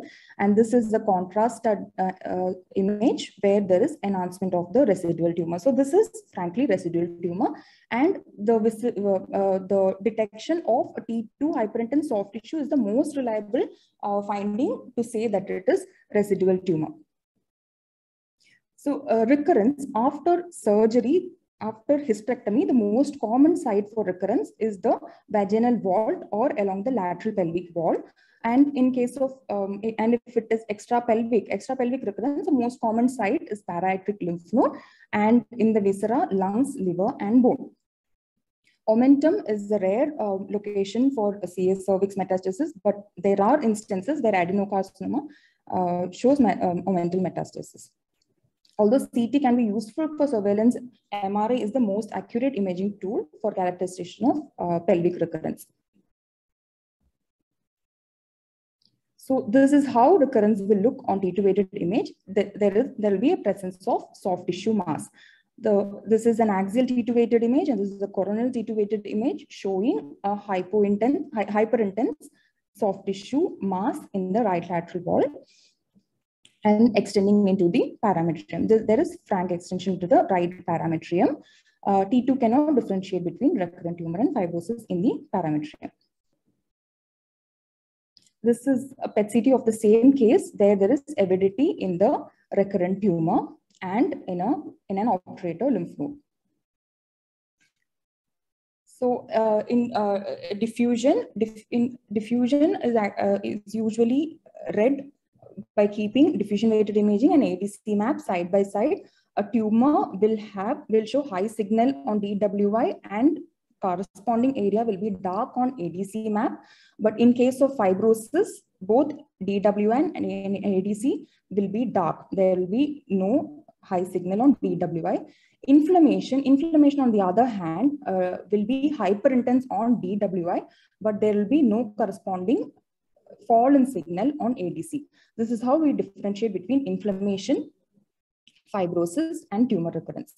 And dynamic post-contrast imaging, early enhancement suggests re tumor recurrence. Fibrosis will show mild enhancement or no enhancement or mild enhancement only in the delayed phases. So this is what I was talking about. This is a DWI image and its corresponding ADC coefficient. There, uh, it, there is hyperintense signal on the DWI and it becomes dark on ADC, which corresponds to recurrent tumor. So uh, this, uh, this is a normal appearance of cervix T2 dark um, after radiotherapy. And here the parametrium shows some T2 hy hypo intense signal. So we can see the left parametrium, there is preservation of fat here, but here in the right parametrium, there is some hypo, hypointense signal on T2. So in this, we cannot uh, say whether it is fibros fibrosis or tumor, but this is a contrast, dynamic contrast enhanced image, which clearly shows that there's no enhancement in the right parametrium, neither on the left parametrium. So this lack of enhancement suggests that it is only uh, fibrosis and not tumor.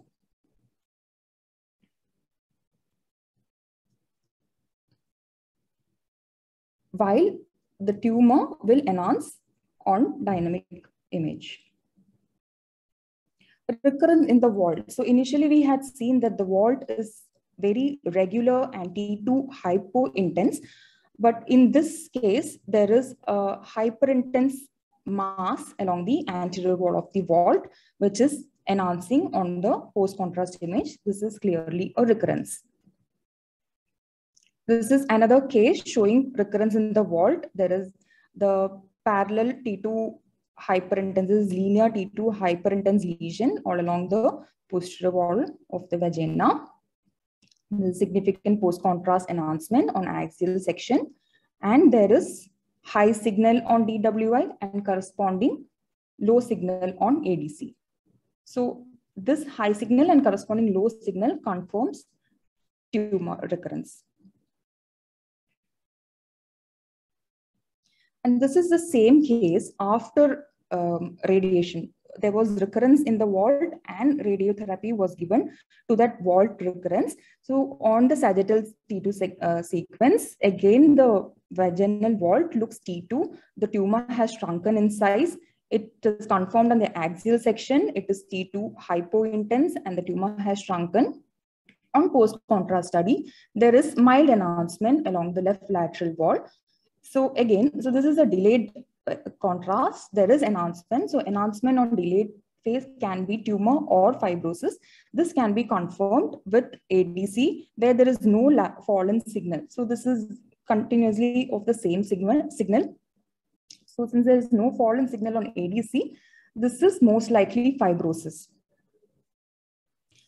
These, uh, so I told you about diffusion weighted imaging, uh, dynamic contrast enhanced imaging, these do help in differentiating between fibrosis and recurrence, but it is not so easy with all the cases. Uh, despite all these studies, we still have doubt whether it is only uh, fibrosis or recurrence. So in these cases, biopsy may be warranted.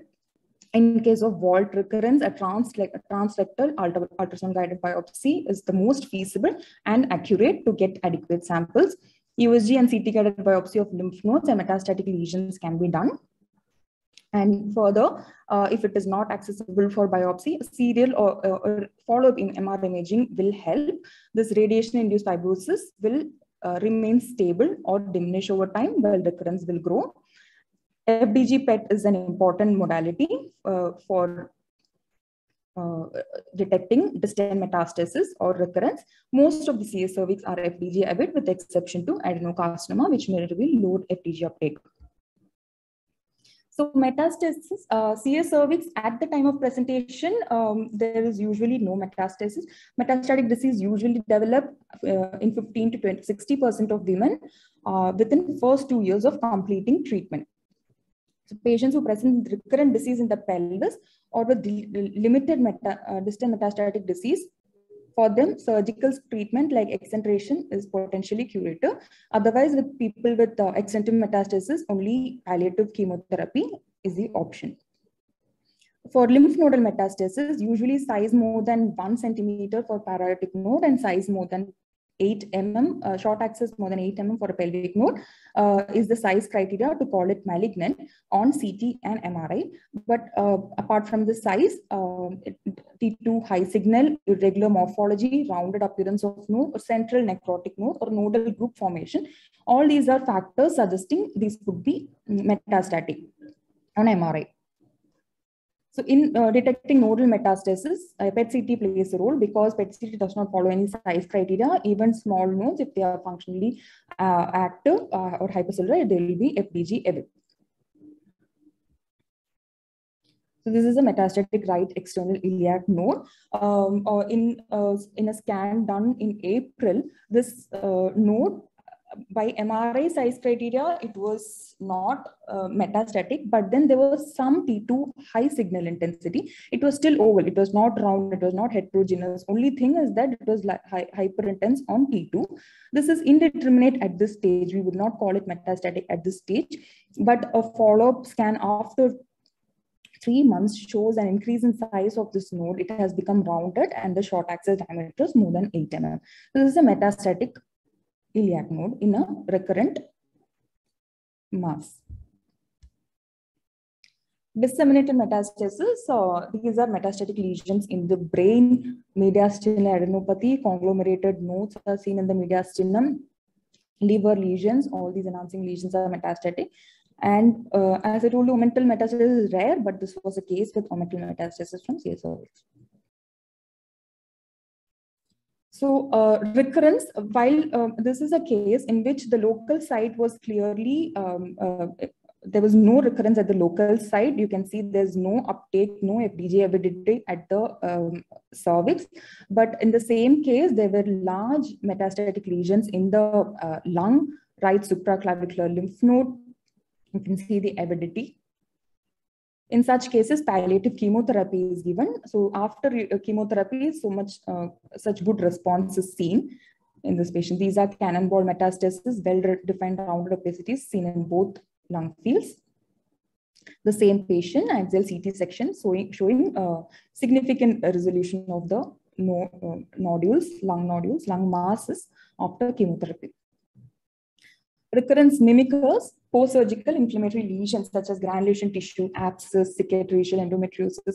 These can all uh, uh, look like relapse, but um, the diffusion and dynamic contrast help us in, to some extent in differentiating these. And when in doubt, biopsy and follow-up is the only option. Post-therapy complications. So post-therapy complications can um, can be um, acute and chronic. Uh, this um, this usually affects the radiosensitive uh, structures in the pelvis, which are within the field of the radiation um, port portal, and uh, this affects the radiosensitive organs such as the bladder, the bowel, uh, and uh, the hematopoietic bone marrow. So in bladder, in acute uh, bladder presentation, there will be uh, cystitis or radiation cystitis uh, and uh, bladder clot formation. So after radiotherapy, the bladder wall shows edema. The bladder wall is edematous. There will be hyper-enhancement of the mucosa on CT. And in MRI, there will be high signal intensity in the bladder wall with mucosal bullous edema. This is a common uh, imaging findings is a common post-radiation change in the bladder wall. This, will, this should not be termed as radiation cystitis. Radiation cystitis is uh, is when there is when it is clinically relevant. There, there, there are features of cystitis, and it is on the basis of cystoscopic evaluation with visualization of erythema, edema, and neovascularization in the bladder.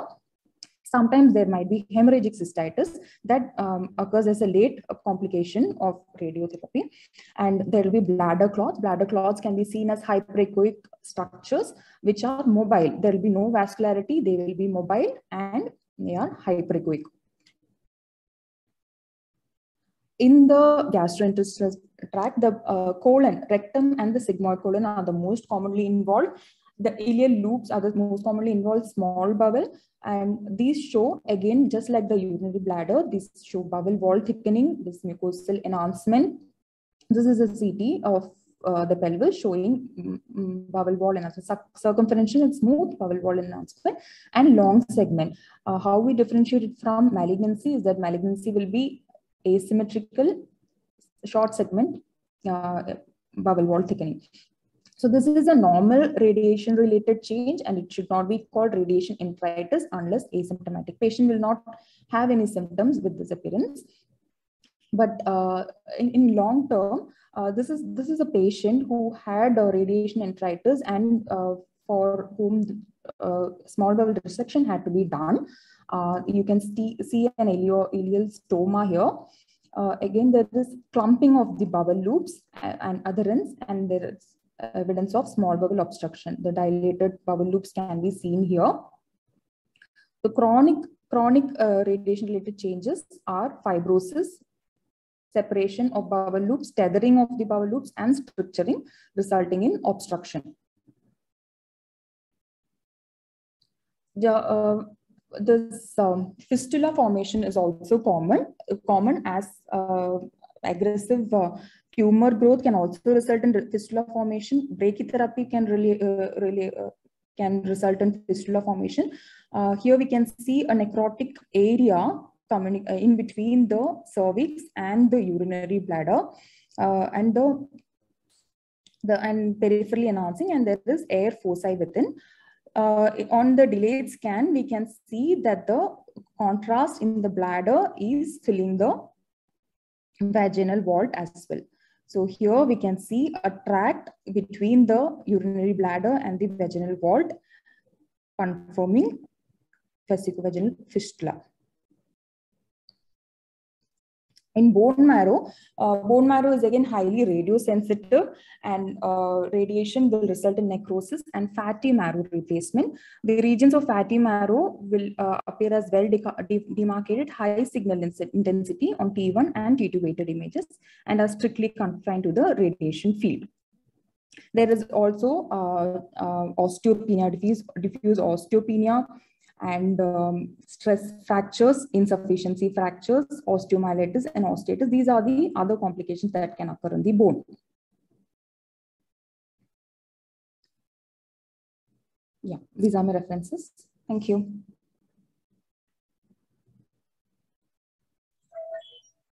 Thank you, Lakshmi Jastri, for your elaborate presentation. We have some questions in our chat box.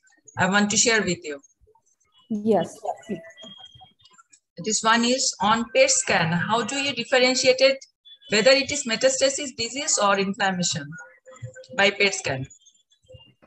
No, SUV. SUV, a standardized uptake uh, value in a PET scan, it is a quantitative assessment. In If we see a lesion and if we calculate the SUV value, value more than 2.5, I suppose, um, uh, is uh, suggests more of uh, uh, recurrence or metastatic disease Yes, and, and corroborative findings like uh, soft tissue mass with convex margins. Corroborative CT findings is always helpful in differentiating. You told about something calculation like that, right? Yes. Yes. Uh, calculation of something uh, we actually don't understand. SUV value, standardized uptake value in the FDG avid area. We can mark a region of interest. We can uh, assess the value of it. And usually SUV more than 2.5 is considered tumor. Okay. Uh, there is another question. Some, sometimes the inflammatory node size are more. Um, then how can we differentiate it that is it is a lymph node involvement or inflammatory changes? Is there any scope to identify by uh, imaging? it is difficult. It is difficult. We might uh, we end up doing biopsies in such cases, or Yes. we might have to we might have to follow it up. And if we don't do not see any local re- recurrence, or if it if it is a single node, we can we may as well do a short interval follow up and decide. And sometimes it is difficult to do FNAC from that node. Then what is your suggestion? Follow up probably Follow up. yes. If our suspicion is low, yes. Uh, another question in the chat, chat box, which is ideal imaging to differentiate to identifying recurrence? Which one is the ideal imaging? MRI. MRI is the ideal imaging. Eh, For local recurrence, definitely MRI is the ideal imaging. Okay. PET-CT is not very um, accessible. It is not available everywhere. And for pelvic imaging and its extent, and even to see whether it is amenable to surgery, so radical exenteration or anything, if there is vault recurrence, exenteration is a possibility. If uh, all that uh, assessment we can make on MRI.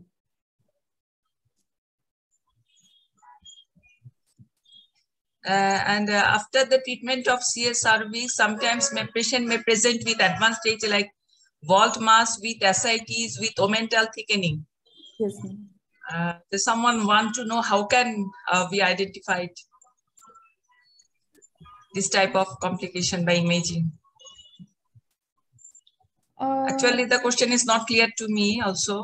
I didn't understand. ma'am. Samia Javid, you can unmute yourself and uh, ask. Okay, okay, proceed, proceed. We are, we are, we are. Oh, uh, sorry, madam. And another question from me uh, that is, uh, if we, for bone metastasis, can we prescribe but suggest bone scan instead of MRI? Yeah, if it if uh, if certain in certain cases MRI will not, as I said, in if it is in the radiation field, even the fatty marrow, the marrow changes secondary to radiotherapy can mimic metastasis. So it might um, MRI might uh, raise more questions than it gives answers. In that cases, PET-CT will help us help us to say whether it is metastasis or just radiation related change. Okay, thank you very much. Uh, now we move on to our next session. It is panel discussion session, and this session is moderated by Dr. Bhagyalakshmi Nayak, Madam. Uh, now I would like to request our Madam Bhagyalakshmi Nayak to introduce her panelists to us and begin the session. Madam, please. Thank you so much. So let me share my screen once. Okay, so is it visible? Yeah, yeah. Yes, Madam. Okay, so I have a very esteemed panelists with me, Dr. Pallak, Dr. Amita, Dr. Supriya Chopra, and Dr. Shrikant. Uh, Dr. Pallak is radi uh, radio uh, radiologist, Dr. Amita is a gynae oncologist, Dr. Supriya radiation oncologist, and Dr. Shrikant is medical oncologist. So we have a whole team of a tumor board now, and uh, we will be discussing two cases which I have seen last week only. So Uh, Dr. Bhagyalakshmi, yes, Yeah. uh, thank you so much for uh, hosting this panel. Dr. Supriya Chopra uh, unfortunately could not join us, and Dr. Tapas Dora has been very gracious to help us uh, uh, be on the panel today on her behalf. okay, Dr. okay, okay. Welcome, Dr. Tapas. Yeah, yeah. Thank you, Palak. Uh, Bhagyalakshmi madam is my teacher. So, Yes, yes, Tapas. It's a I'm pleasure so to be there. Happy to have you in my panel. yes, ma'am. Okay, okay. Thank you so much. Thank you. Thank you, ma'am. Oh, okay. So let me start uh, with uh, this case. She was 50 years old, and uh, uh, more importantly, she was uh, the mother of uh, Medico. He was in final year. She had a history of contact bleeding for three episodes in two months. See, I'm not going too much into the radiology part of it because we have a lot of gynecologists here. So these are uh, real life uh, problems that we face day to day. So he, she was seen by a gynecologist outside and uh, mentioned that the cervix was hypertrophied and looked unhealthy and multiple punch biopsies were taken and the histopathology was cervical. So she was left alone and because the postmenopausal bleeding continued for some time, she was again assessed by another gynecologist who did again a repeat ultrasound. We showed that there was pyometra and endocervical growth of 3 to 6, uh, 4 centimeters. So she planned for a diagnostic hysteroscopy and a biopsy for the growth. Unfortunately, patient had septicemia and was in ICU for more than a month. And then with a biopsy report of adenocarcinoma was refer, uh, recovered from ICU and referred to us. And when she came back to us, she had a biopsy report of adenocarcinoma grade 2 uh, with uh, ballooning of the cervix and growth was around 7 centimeters and both the medial para were almost involved and um, uh, the imaging showed that it was also involving the lower uterine segment. So Dr. Amita? Yeah, hi. Hi. Yeah. Uh, good evening, so, everyone. Uh, this is a real life situation. So we really face issues in diagnosing uh, cases uh, like this. So what is your take on this? So, so I think one very evident thing is, uh, you know, whenever a patient comes with post-menopausal bleeding, just looking at cervix or contact bleeding, looking at cervix alone may not be adequate. In this case, I, I don't know whether ultrasound first time when it was done, was it just yes, trans-abdominal ultrasound? It just showed or a, cervix, yes. Yeah, so a transvaginal ultrasound with thorough evaluation of uh, endocervix as well as endometrium uh, should be done in all cases presenting with the abnormal bleeding. Also, I think random biopsies were done, but uh, whether there was a you know endocervical evaluation was done uh, at that time, I'm not sure. Only no, taking biopsy, yeah. So that's also important point. So had that all of that, uh, you know, we have we could have at least managed her little in early stages rather you know becoming so uh, large growth with para involvement and all of that. So we always think that the, if it is a cervix uh, growth it should be on the ectocervix. So i think we have to understand that sometimes there are lesions hidden in the endocervical canal as well and they may not come on the ectocervix at all. So i think that has to be kept in mind. And many times the Mm, pre-invasive lesions. So that's also an important thing because they are most of the time hidden inside the glands.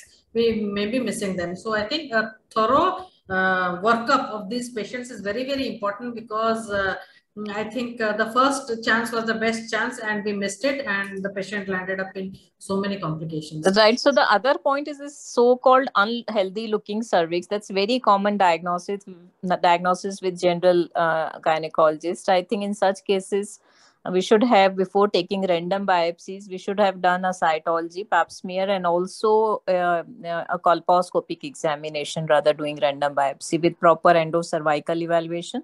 And also at this age endometrium also needs to be evaluated. And uh, do you think that there is an increasing incidence of cervical adenocarcinomas now that's the perception uh, uh, there is slight increase. I don't know whether it's because squamous have gone down proportionate increase in adenocarcinomas um, but uh, at our center we see around 15 to 20 percent of all uh, carcinomas is, or, may, or it may be better diagnosis yeah, or could be that squamous is going down. So we really don't know whether the absolute increase or um, you know because of other factors. Yeah we have technologically evolved. So many rare cancers also we are now able to pick up. So right. so previously what was labeled as poorly differentiated carcinoma uh, you know that was that was uh, the diagnosis made in the past. Now they try to at least make adeno or squamous thank you so much. So growth involving cervix and lower uterine segment. So that was the finding. And uh, uh, fortunately because uh, he was a medico so he uh, tried to consult actually you in Tata hospital. So uh, the patient was um, at Tata hospital and then sorry. So there was a growth involving the cervix and the lower uterine segment and all the IHC were done to find out whether it was a cervical growth or a uterine growth, but it was inconclusive. So there was a huge tumor board with all of you sitting together and then still the primary was uh, not sure. So finally it was according to the epicenter diagnosed as cervical cancer. Uh, by uh, the whole uh, tumor board at, at Tata Hospital.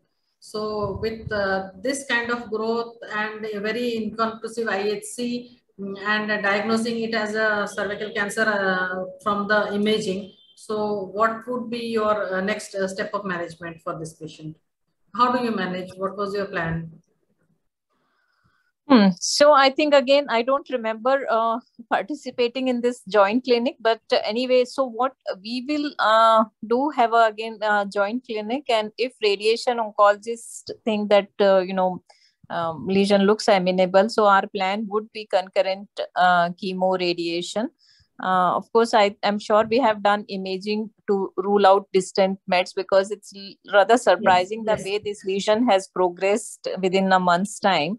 Yes. So uh, if there are no distant mets, it will be concurrent chemo radiation uh, and then evaluation at the end of uh, primary CTRT. Yes. So she received, uh, yeah, and just one issue, but I think we have discussed everything about what could be the issues in imaging in endocervical uh, growth like this. So I think we'll not waste too much time uh, on this. So these are some of the pictures.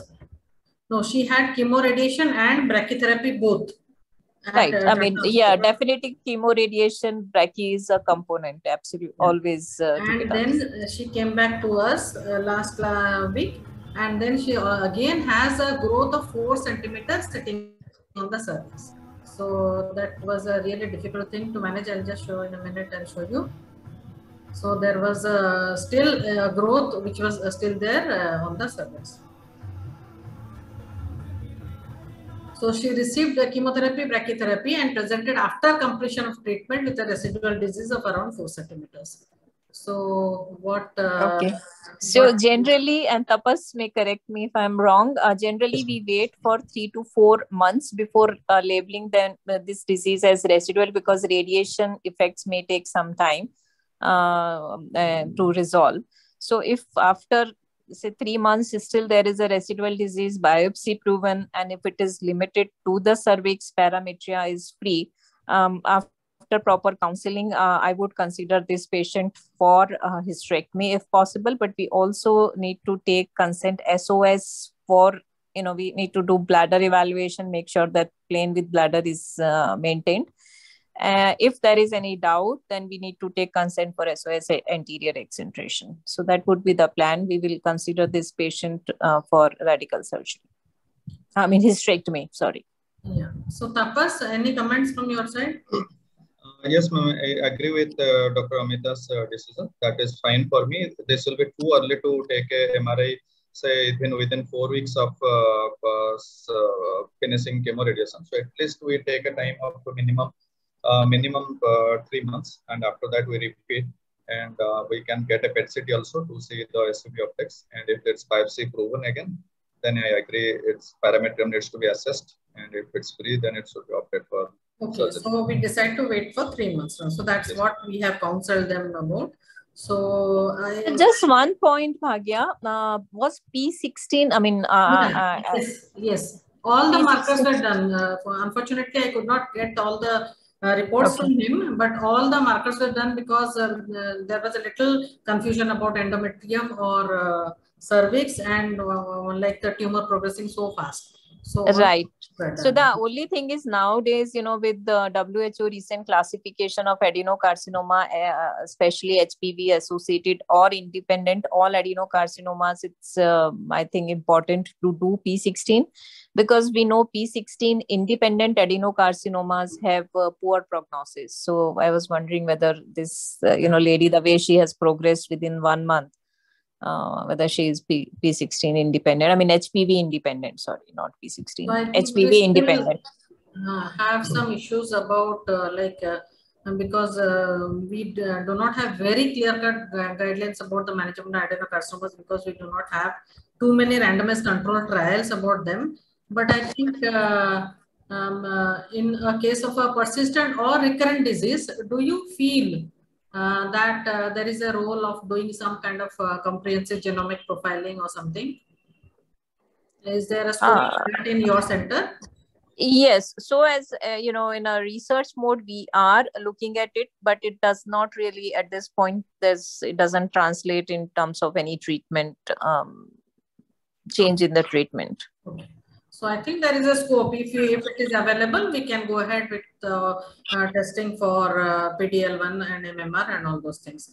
Uh, so oh, okay. Sorry, you are talking about those. Yes. So that also has therapeutic implications. So PDL1 uh, testing MMR we routinely do and we have used immunotherapy in a couple of patients with pdl positive and there is um, you know a decent response to uh, immunotherapy in these patients thank you so much dr shrikant are you there yes ma'am good yeah. evening so what is your take on uh, uh, chemotherapy as a treatment of choice in this uh, such type of tumors what is the role uh, if it is a recurrent metastatic disease, we would like to plan this. It's not recurrent, Shrikant. It's not recurrent. It's a residual disease. So it was seven centimeter uh, when diagnosed and adenocarcinoma.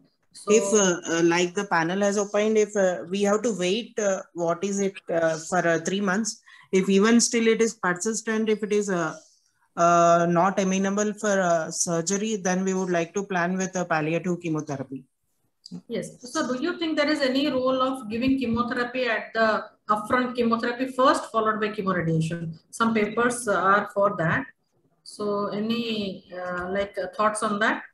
Yeah, it depends on uh, how much interval it has been with the past radiation and also concurrent uh, radiation related toxicities like radiation proctitis and cystitis associated whether re-radiation can be possible or not. If uh, it is not possible, we would like to go ahead with the palliative chemotherapy. Yeah. So uh, I think this uh, case also we can discuss role of bevacizumab uh, in in uh, recurrent or metastatic setting, right? Yes, ma'am. Yes, ma'am. We could give bevacizumab. Yeah. And also, if it is one of PDL1, those PDL1 positive, yes. Uh, we can if PDL1 positive by CPS score greater than one, then we would consider pembrolizumab. Yeah.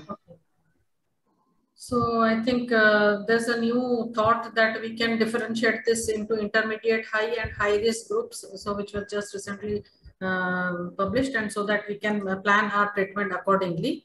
So I think this is adding uh, uh, chemotherapy to chemoradiation.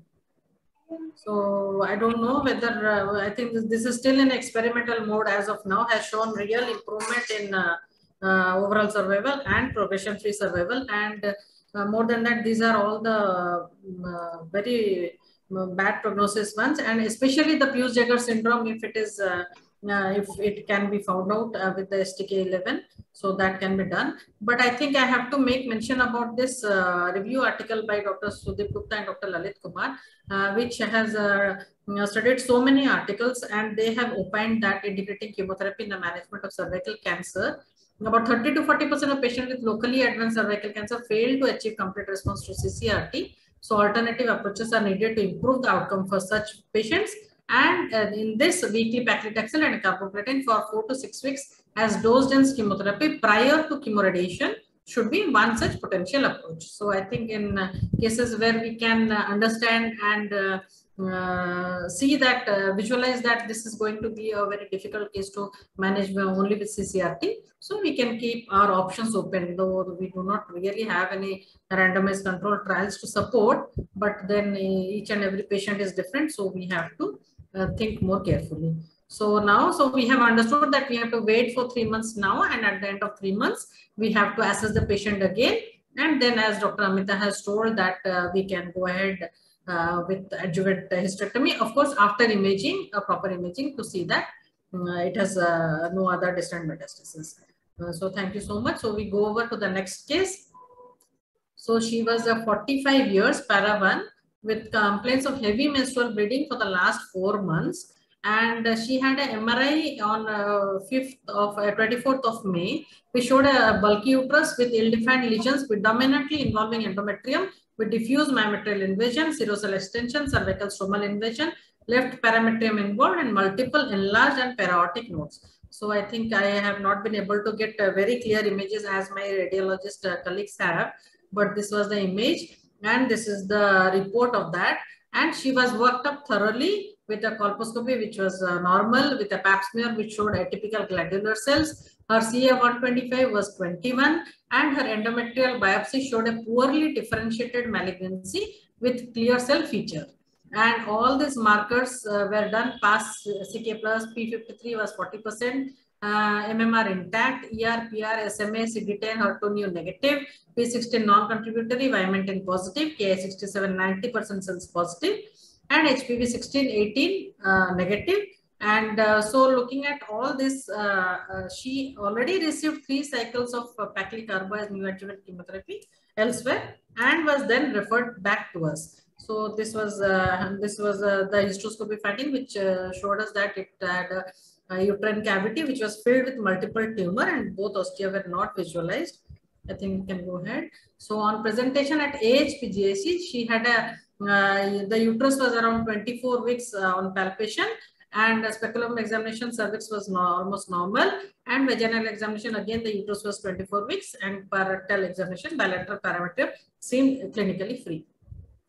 So uh, when the imaging was done again here, it showed that again there were multiple enlarged aortocaval, preaortic, paraortic, retrocaval, bilateral, uh, common iliac and extrailiac nodes and uterus was enlarged, subpleural patches of consolidation and all these findings were there. So um, she had subpleural patches of consolidation and in the middle and lower lobe right lung and her protein albumin was also very low. So she had already received three cycles of chemotherapy. So these are uh, her imaging findings and the bladder uh, rectum were free. So we repeated a CA 125 just to see and again it was 23 in contrast to 21 which was before chemotherapy and here you can see that there is extensive mm, uh, parametrial infiltration, um, extensive myometrial infiltration so there was uh, basically actually no difference in the uh, imaging even after three cycles of chemotherapy. Okay. So uh, with um, um, tumor board discussion in our hospital, so she was uh, finally planned for a debulking surgery. So preoperatively, one bottle of albumin infusion was given and on uh, per operative finding was uterus was around 24 weeks bosselated deposits involving both ovaries rectosigmoid adherent to the fundus of the uterus both ovaries were enlarged appendix was adherent cervix was expanded. The upper vagina also looked a little suspicious uh, but there was fortunately no upper abdomen disease. And uh, but uh, since the patient was uh, not doing very well so anesthetist uh, did not allow for a, a, nodal dissection though we could do a hysterectomy omental biopsy and following extensive adhesiolysis because there was a lot of adhesion and nodal dissection could not be done. So this is the picture uterus was 24 weeks so ossilated deposits over the uterus. Rectosigmoid was adherent uh, with fundus of the uterus. Both ovaries were enlarged, appeared inward, appendix adherent, and this, this is the gross picture. And cut section, uh, there was growth in the uterine cavity extending into the cervix, and there was full thickness myometrial infiltration. And on the cut section of the ovaries also, it was a similar uh, kind of uh, picture. And uh, so I think with uh, this finding, so what would be your next step, Dr. Amita, please? Um, so um, uh, the uh, biopsy again, does it show clear cell poorly differentiated carcinoma? Biopsy of all of this? We are actually waiting. okay, okay. So I think we need to see uh, biopsy, and uh, I would be, you know, tempted to do those markers again, although we have already done um, P53 mutant type, I guess. So our plan would be to uh, give chemotherapy uh, considering she has very poor response to paclicarbo. I don't know if um, uh, we would like to change to another type of chemotherapy or will we continue the same chemotherapy? Uh, and also, uh, are you there, uh, Shrika? Yeah. You can comment.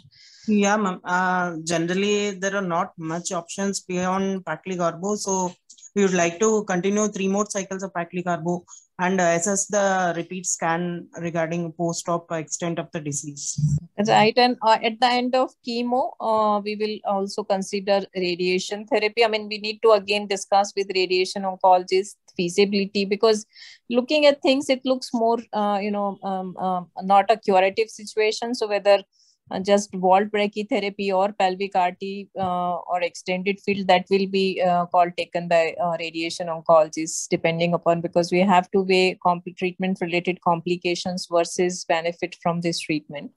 So um, uh, Tapas?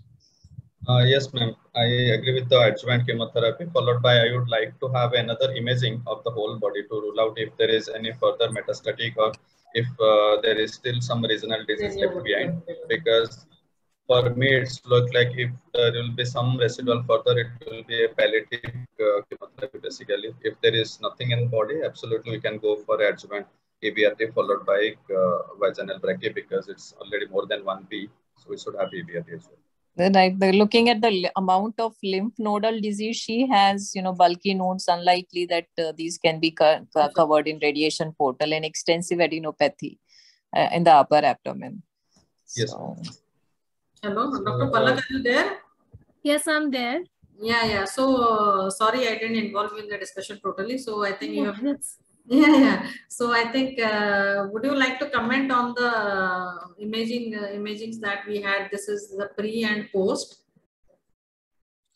Yeah, so uh, I mean, compared to that, so if you just point out to the red arrows that are seen in both the pre and the post, the bulk of the tumor, which had an uh, you know quite an extraserosal bosselated appearance in the upper aspect, has gone down significantly, and it is showing less than you know, it's showing much more lesser extent of myometrial invasion. The cervical component of the, of the disease does not have responded so much, but uh, you know what I would say is I'm not sure because these are not representative sections. If I see the cervical part uh, inferiorly, it has not changed much. The red arrow on the two sides, that shows a different different change. But when I see one section above, there is a good amount of tumor which is probably still bosselating out and has extraserosal spread. So if you go one row above and to your right, so that looks like an extraserosal spread. So honestly, this would need a good comparison section by section to see for uh, a response. And similarly about the para-aortic nodes, I think. Uh, Um, yeah, so th- the red arrow again is pointing to KZ, uh, not caseating, but it's uh, conglomerated discrete nodes all packed together, encasing the great vessels completely. And on the CT, again, it is another section, so we cannot compare the sizes as such. But if I just look at the dimensions, uh, the nodes are extending about two centimeters to the left of aorta and one centimeter right to the uh, to the right of IVC. On the CT scan coronal cut, again, it has a similar kind of an appearance. So it may not have responded. So once again, we need to compare them at uh, equivalent sections to look for response. Thank you so much. So I think so. And uh, so the, this was uh, what I collected from the NCCN that uh, if she is, um, if, because CA 125 actually has uh, not been raised at all. CA, it was only 21 in uh, pre, uh, pre-NSCT and post-NSCT, it was again only 23. So uh, I think. yeah, but I think there is some doubt about, I don't know, napsin was not done, but uh, could it be clear cell carcinoma? So that's another, uh, this thing. it's uh, one of type 2 histologies and may not be uh, papillary serous. I'm not sure what is it. So that's why it's important to have another proper biopsy with IHC. Yes. Actually, when I was doing the surgery, I don't know, I had an intuition that it could be some kind of sarcoma only because the uterus was uh, so hard to feel. It was like, I was, I'm not sure still now what is the biopsy. So we can uh, work, uh, work more on the IHC and all. So again, any role of genetic testing in such kind of tumors which has not responded at all to chemotherapy? So if uh, it's a papillary serous type of tumor, we do uh, BRCA testing because a small percentage can be BRCA associated. Yes. Um, and HER2 Yes. new also if it's uh, papillary serous. So these two, but uh, apart from that, um, uh, not much. Bartonia was uh, actually uh, Negative, yeah, yeah. You, it was done. So all, all that markers you mentioned, HER2 new, in even uh, I think uh, PDL one and MMR one, or everything was negative. Yeah, so this is NTRK gene fusion. I don't know how many centers are doing this. Yes, yes. Uh, yeah. Think corporates, I think they can advise anything for the patients and uh, Right. So sample, if patient can afford, sample can be sent to, uh, uh, I mean, send outside and they can get it out. So, So now post-op actually, she's uh, still in the hospital and uh, recovery is uneventful and only that the protein albumin is still very less, uh, less and uh, the histopathology is still uh, waiting. So we have left behind so much of nodal disease. Dr. Shrikant, do you have any thoughts of how to manage this patient after she is uh, discharged? Uh, I would like to comment ki we should early initiation of palliative care is must here because uh, seeing the uh, progression of the disease and symptomatic thing, it would be a uh, poor prognosis uh, should be explained to the patient. And I would uh, agree NTRK fusions are found in 1 to 2% of these patients. If she is having such targetable mutation, then entrectinib and larotrectinib are the drugs which can be employed that may produce good response rates. Yeah, yeah so the cost of... Uh, Ma'am, that has to be imported right exactly. So we need to uh, discuss that point also.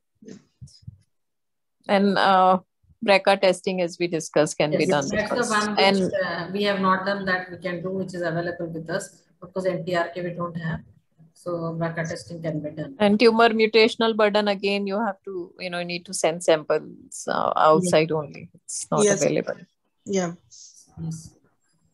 so i think uh, Actually, I, I wanted to learn uh, for both these cases what best we can do for the patients. So that is why I put uh, both these cases here. And uh, Z, um, if biopsy is again it's non-clear cell, then we can do ERPR and C. But ERPR is negative uh, at the first before oh. therapy. Okay. okay. ERPR was negative. Yes. It's an aggressive tumor with, uh, I yeah. think, um, uh, uh, Ki67 some 90% yeah. and everything negative it's essentially what you said is very right that early initiation of palliative care and counseling yes. is important in this case so i think we have uh, thank you so much dr palak tapas dr amita and um, uh, dr shrikant so i think uh, we have two take home messages from here that the first case could have been managed if you would have evaluated her uh, properly from the beginning itself so that was a different story. And this endometrial cancer is again a different story that she presented upfront with a very advanced disease. So I think we should have uh, our uh, consider so many things, not only evidence. We have to our emotions, our intelligence, because each patient is different, and uh, treat her what best we can uh, give. So thank you very much. Thank you, Kamaluddin sir, Dr. Shahana for this opportunity. Thank you so much. So actually, thank you, Bhagya. Very interesting cases and huge learning experience. Thank you very much. Thank you. Yes, yeah, thank you so now, much. Yeah, we are now we are at the end of the session. Before that, the all the credits go to Dr. Palak because she included all the whole area of the India, the whole the panelists from all area, and the all the getting the all pain the program is arranged by herself.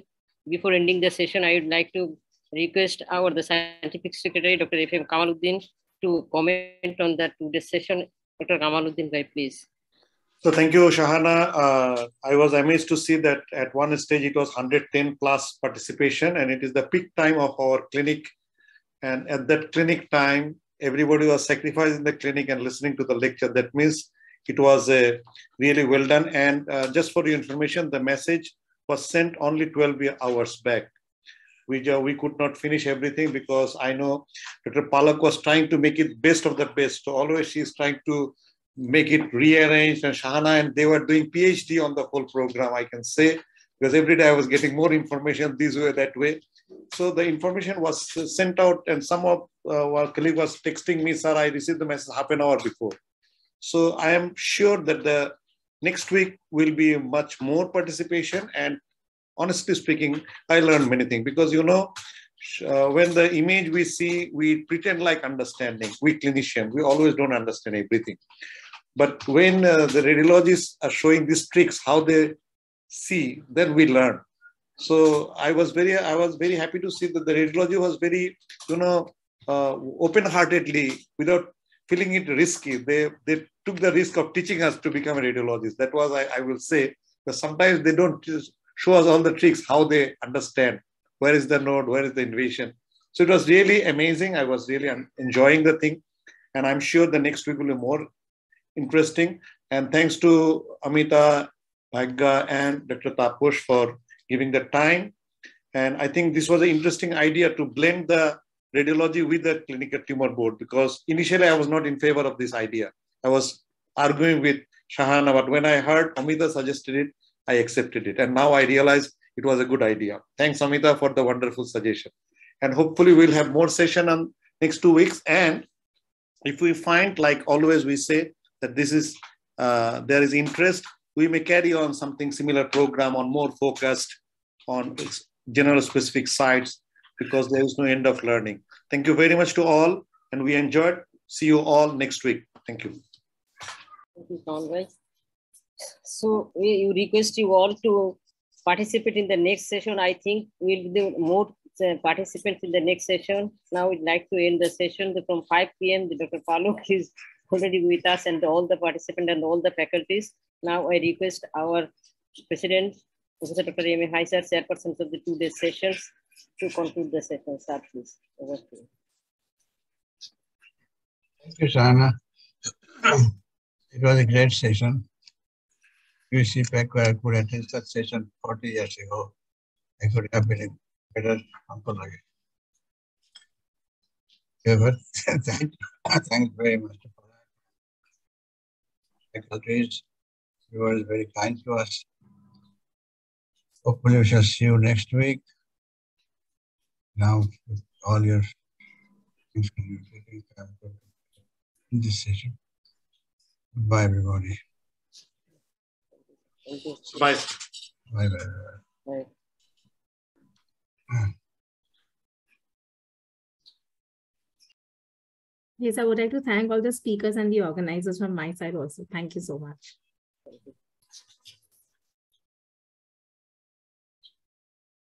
Ruby, please close the session.